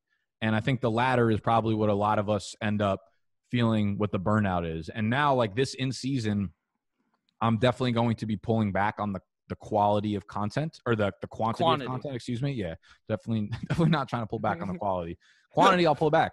One of those ways I could do that is one by like outsourcing that one video to to Noah and Mike. Right, they take out a video, but we still get a video up on the channel, and just figuring out a schedule because in the season the time is so fucking important. Like you don't have time to to relax because you need to get out three or four videos a week about stuff that just happened and then it's going to become irrelevant in 2 days. So it's it's really about stepping back and being like what what is it that's fucking me up and making me burnt out? Is it like, you know, I can't do four videos anymore. I need to do two for my own sanity. The quality will be higher. You're not going to lose like okay, like fuck the clickbait. Like long term, you got to look at this Yeah. shit long term. You really you really really do. It goes back to keeping your shit sane, keeping your mentality good because over the long over the long span, you can't just keep putting band-aids on these fucking long-term problems. So um, it's really yeah, it comes down to just understanding what it is that's the core of the problem and then fixing it that way. Okay, yeah, because during the season I was making like 13 plus videos a week, like while yeah, going like to school. so I was that. like, nah, Don't no, but like I I- need to grow, you know, got to get bigger. But obviously, uh, what what kind of stuff do you feel like you? Because obviously from the beginning you've changed a lot, like of your videos. So like I noticed back in the day you used to create videos. It'd be like team outlook of the Giants, and it's like a whole fucking long ass video. It's a movie. You can go watch it. And then now you don't do that type of stuff. So how did you? What made you want to like cut some videos out and bring new ones in, or is it kind of just a natural type of thing? Uh, a lot of it had to do with what we were just talking about in terms of like deciding thumbnails. A lot of Yeah. that has to do with the content. I think like what what I think is important on YouTube, especially, is doing just do whatever content you want to do, whether it's the team outlook or whatever it is. But understand that the only way you're going to get people to the content is the thumbnails and the titles. So if you can make content about what you're enjoying, but make it relevant to things that are popular within the thumbnails and the titles. So like must own running backs or whatever like you can you could talk about things that are not like directly just a list of must own running backs you know what i mean? That's not what Yeah. i do but you can do that. So take the take the content that you enjoy and intertwine that with things that are relevant in the thumbnail and the title so that you're still bringing people in but as long as the quality as long as the content is quality they're not going to be like oh i'm clicking out because you didn't do a list of fucking must own running backs you know what i mean? Like it's still going to work fine Yeah. Now, how do you feel like when you obviously right now we're in fucking May, so the videos aren't doing as well. So how do you feel when you like release like a mock draft video that takes really only like an hour, just you sitting there, and then you do some other video take you six hours and gets like the same amount of Mm-hmm. views? Do you feel like that annoys you? Because kind of does to me, because like the mocks get way more views than everything else, and they take the least amount of effort, which I just find to be funny. Yeah, uh, it's an interesting part of the fantasy audience is that they love mock drafts, man. They really do, and um, I don't know. I just I just do the best work I can, and and, and it goes back to just building a foundation, man. Like it, people are going to appreciate the quality of content. Maybe it's not the number that you would like to see that are appreciating the quality of content, but the people that do, those are going to be like really hardcore fans of the shit that you're putting out. So. Uh, I don't. I don't necessarily get discouraged by it. I just. I, I try to flip it and look at it from a positive light and say like, okay, well, the people that did watch it really fucking enjoyed this video, probably, Yeah. hopefully. Yeah. Now, do you look very deep into like the analytics of YouTube, like your watch time and all that, or do you just not even worry about it at this point now? I I never did.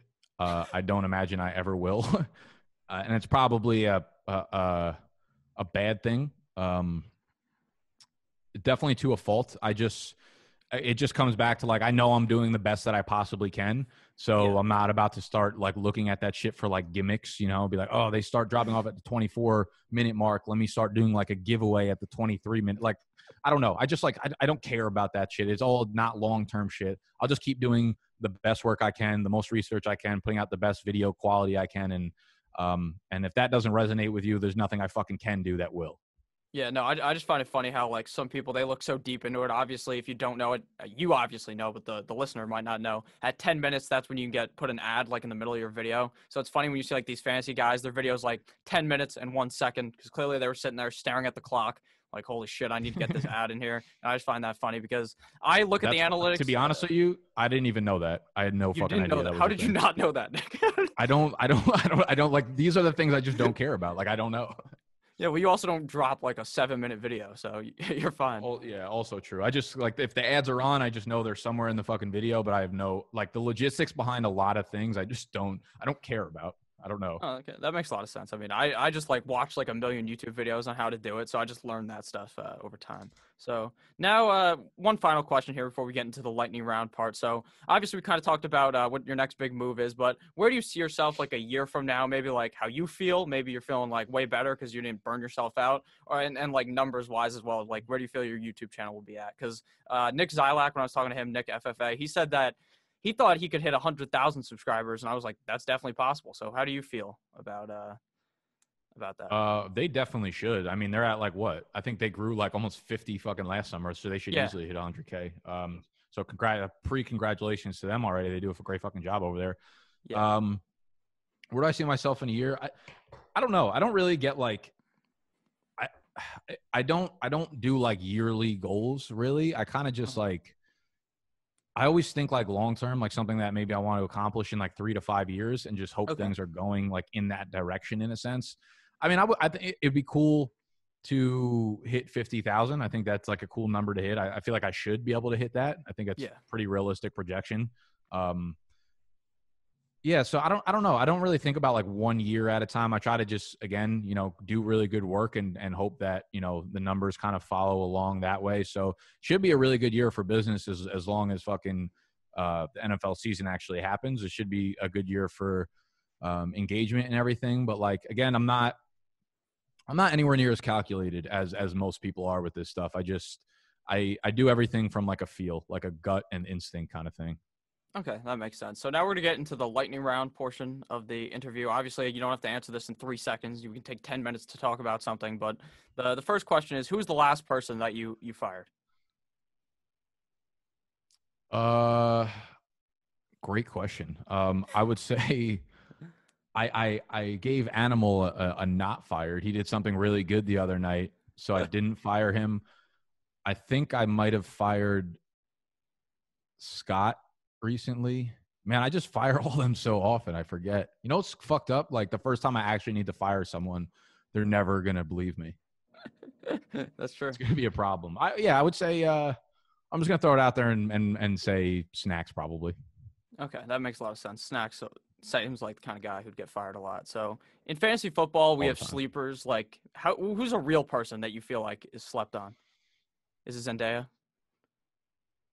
No, she she can't be slept on anymore. She's like so she's so popular. That that's a great question. Um, I actually didn't see this on the show sheet.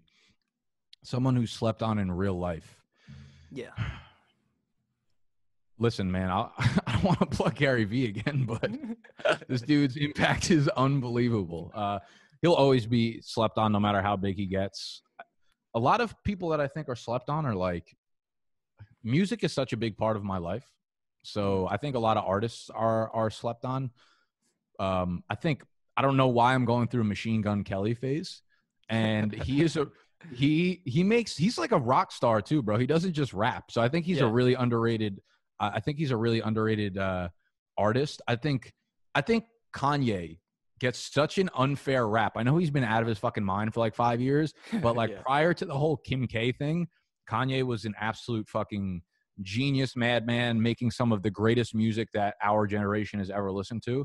So I think Kanye, for as big of uh, as a popular person he's gotten, the hate has gone too far on Kanye. Man, I wish I thought about this because I definitely have way better answers for this. But um, I think uh, I think Shia LaBeouf is super underrated too. I love Shia LaBeouf so much. Um, yeah, we'll go with those for now.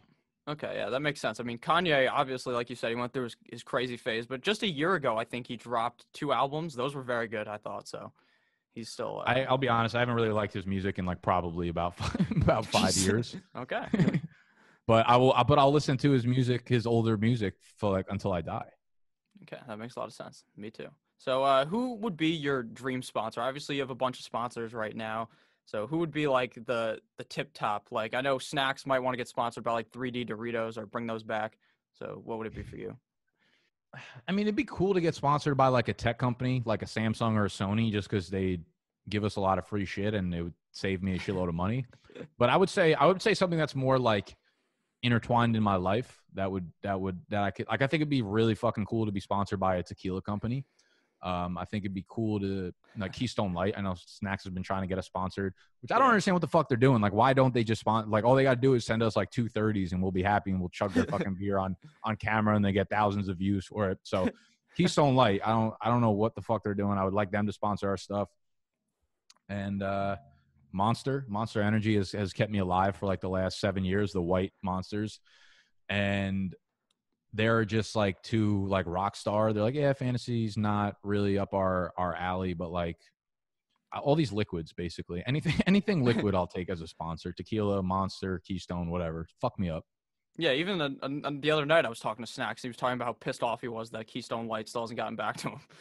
So. Yeah, it's, it's ridiculous. They were toying with him, telling him that he he like actually gets upset, which is the funniest part. He'll like call their customer service line and shit. Yeah, they were like tugging him off, and they didn't let him uh, finish. So he was really mad the other night talking about it. So who who has better pizza? Obviously, you've lived in Jersey and New York. I mean, it's probably New York, but who has better? It's pizza? New York. Yeah, it's it's hands down New York, and that's not biased. Like you said, I've I lived in Jersey for like 24 years. The the, the pizza is good, but it's nothing like like what they have in New York. It's not even close.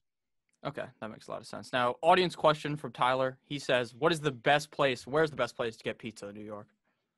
Um, so admittedly, I haven't tried like all the top places in Manhattan. Like Prince Street Pizza is fantastic, supposedly. Uh, I've had a lot of places in Brooklyn. My favorite place in Brooklyn would have to be L and B Spumoni Garden down in Coney Island, which is where I was actually born, and my mom goes back there all the time to uh, to grab us pizza and stuff from there. So L and B Spumoni Garden, but this place L'industrie L apostrophe I N D U S T R I E uh, is also fucking phenomenal. And they were like right around the corner from me in Brooklyn. And I would go there like four times a week. The guy was like, "You like work around here, or like live around here? You're in here like all the time." I was like, "Fuck, dude." It's like things you don't want to hear from the person who works at a pizzeria. So L'industrie and L and B Spumoni Garden are my favorite in Brooklyn. Okay, so obviously you do those Marg reviews on Instagram. So where's where's the best one you can get in New York? Because once I turn 21, I'm gonna have to go to one of these places and uh, test them out. Oh man, uh, so the the problem with the Marg reviews and the Marg ratings uh, are that the high. I've realized that like I do a lot of them drunk. Obviously, it just comes with the territory. So the drunker I am, the higher the rating becomes. And Oh, I don't okay. think I'm doing that. Like I don't. I don't think I'm being biased because I'm drunk. I really think they're good at the time, but they're probably not. Um, So I don't I don't actually know off the top of my head to be honest with you, but I can make a really good at home margarita that I think rivals most of the ones in, in New York, to be honest. Okay, so obviously you made your uh, Marg recipe on uh, on one of those episodes. I think it was Fade the Public. Maybe it was after the uh, award show, uh, and you Yeah, spilled it was it. everywhere. It was pretty interesting. So give me your your Marg recipe real quick. If you would change anything from then, Um. The, Marg recipe is simple. I think the I think where people fuck up. All right, so it's it's it's uh, tequila, it's triple sec, and it's lime juice. Do not fucking put orange juice in a margarita, please. Yeah, who does that? dude a lot of places make it with orange juice and i'm like take this back take this back before i give you a 1.1 on my fucking story you so those are the three ingredients what what most people underestimate is they don't put enough ice in and they need real limes so it's a ratio you go two one one tequila and then the other two so for every you put like two shots tequila one shot triple sec one shot of uh, of lime juice, and then you take a lime, cut it in half, and squeeze the entire thing into it. Whole lot of ice, and you're fucking good to go. It's beautiful. Sounds good. I'm gonna have to be making that in a couple of weeks. So who? Also, quick, yeah, who- you could put a fourth ingredient in there too if you like. If you want to do like a splash of lemonade or a splash of Monster or an extra splash of tequila or something, you're good to go. a couple splashes of tequila extra for me. Exactly. Yeah. So who who would be your uh, dream dinner guest? Like if you go to dinner with anyone, would it be Gary Vee or would it be someone different? It would be it would be Gary Vee. Uh, Yeah. I would like to pick Elon Musk's brain too because he's He's crazy. just what he's created from the, the interesting thing I, I, about Elon Musk is that um like he has created these companies where he is not an expert in the field whatsoever. Like SpaceX he's not like a fucking astronaut. He's not a, a rocket scientist or anything like that but he's been able to create these businesses based on this stuff.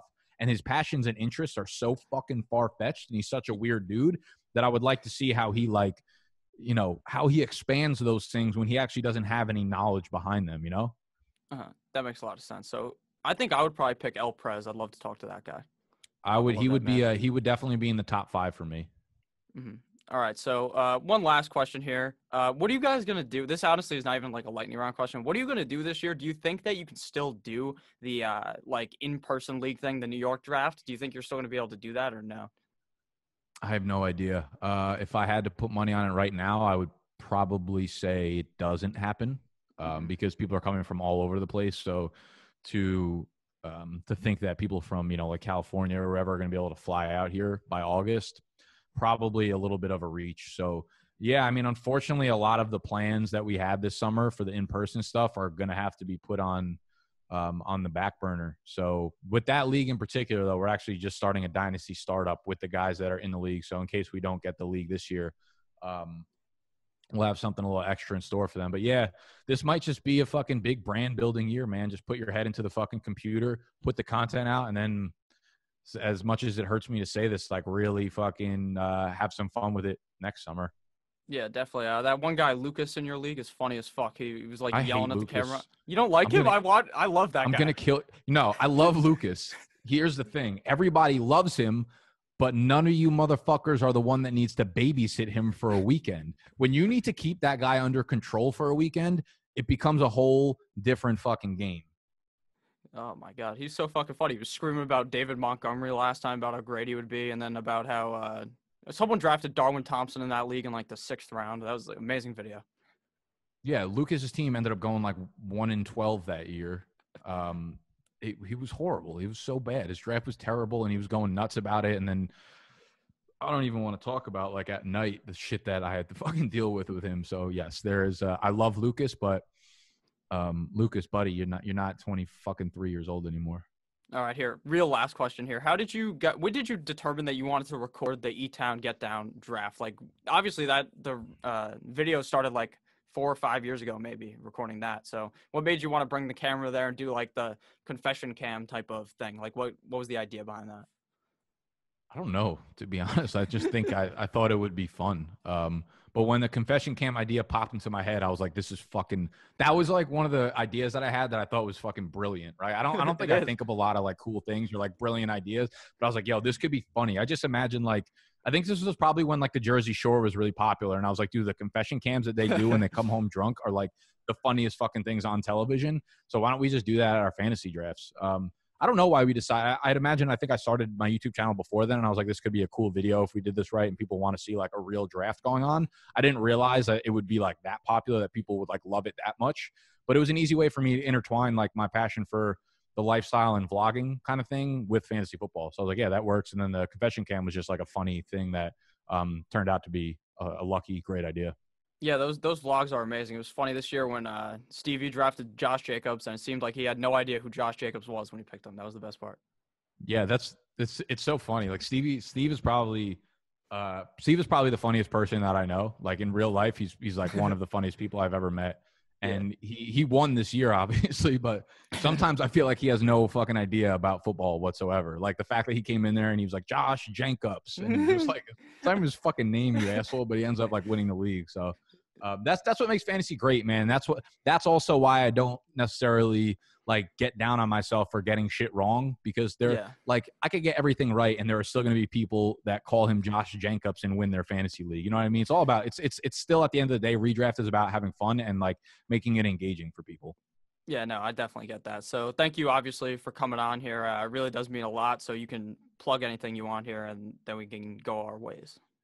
No, it's all good. Um, I I, uh, I had a pleasure. I mean, the time just fucking flew by. To be honest with you, it was it was a fun conversation. Again, it was it was fun to be on this side of things to kind of get to open up and hopefully have your audience and, and my audience. I'm going to put this on my YouTube channel as well.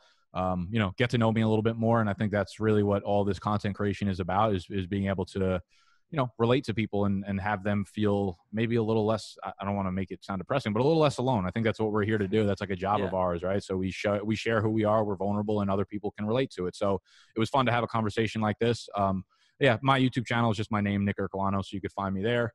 Um, and then same thing make sure you go subscribe to, to nick's channel for those of y'all that are watching on my youtube. Uh, so nick yeah thank you for having me man. It was a pleasure All right, yeah, thank you guys very much. If you guys uh, want to check Nick out, like I said, everything's down below in the description. If you're watching on Nick's channel, please uh, just check it out. You don't even have to subscribe. Just watch like one of my videos. I'm sure it's not that bad. So thank you guys all for watching. I love you all. Have a great rest of your day.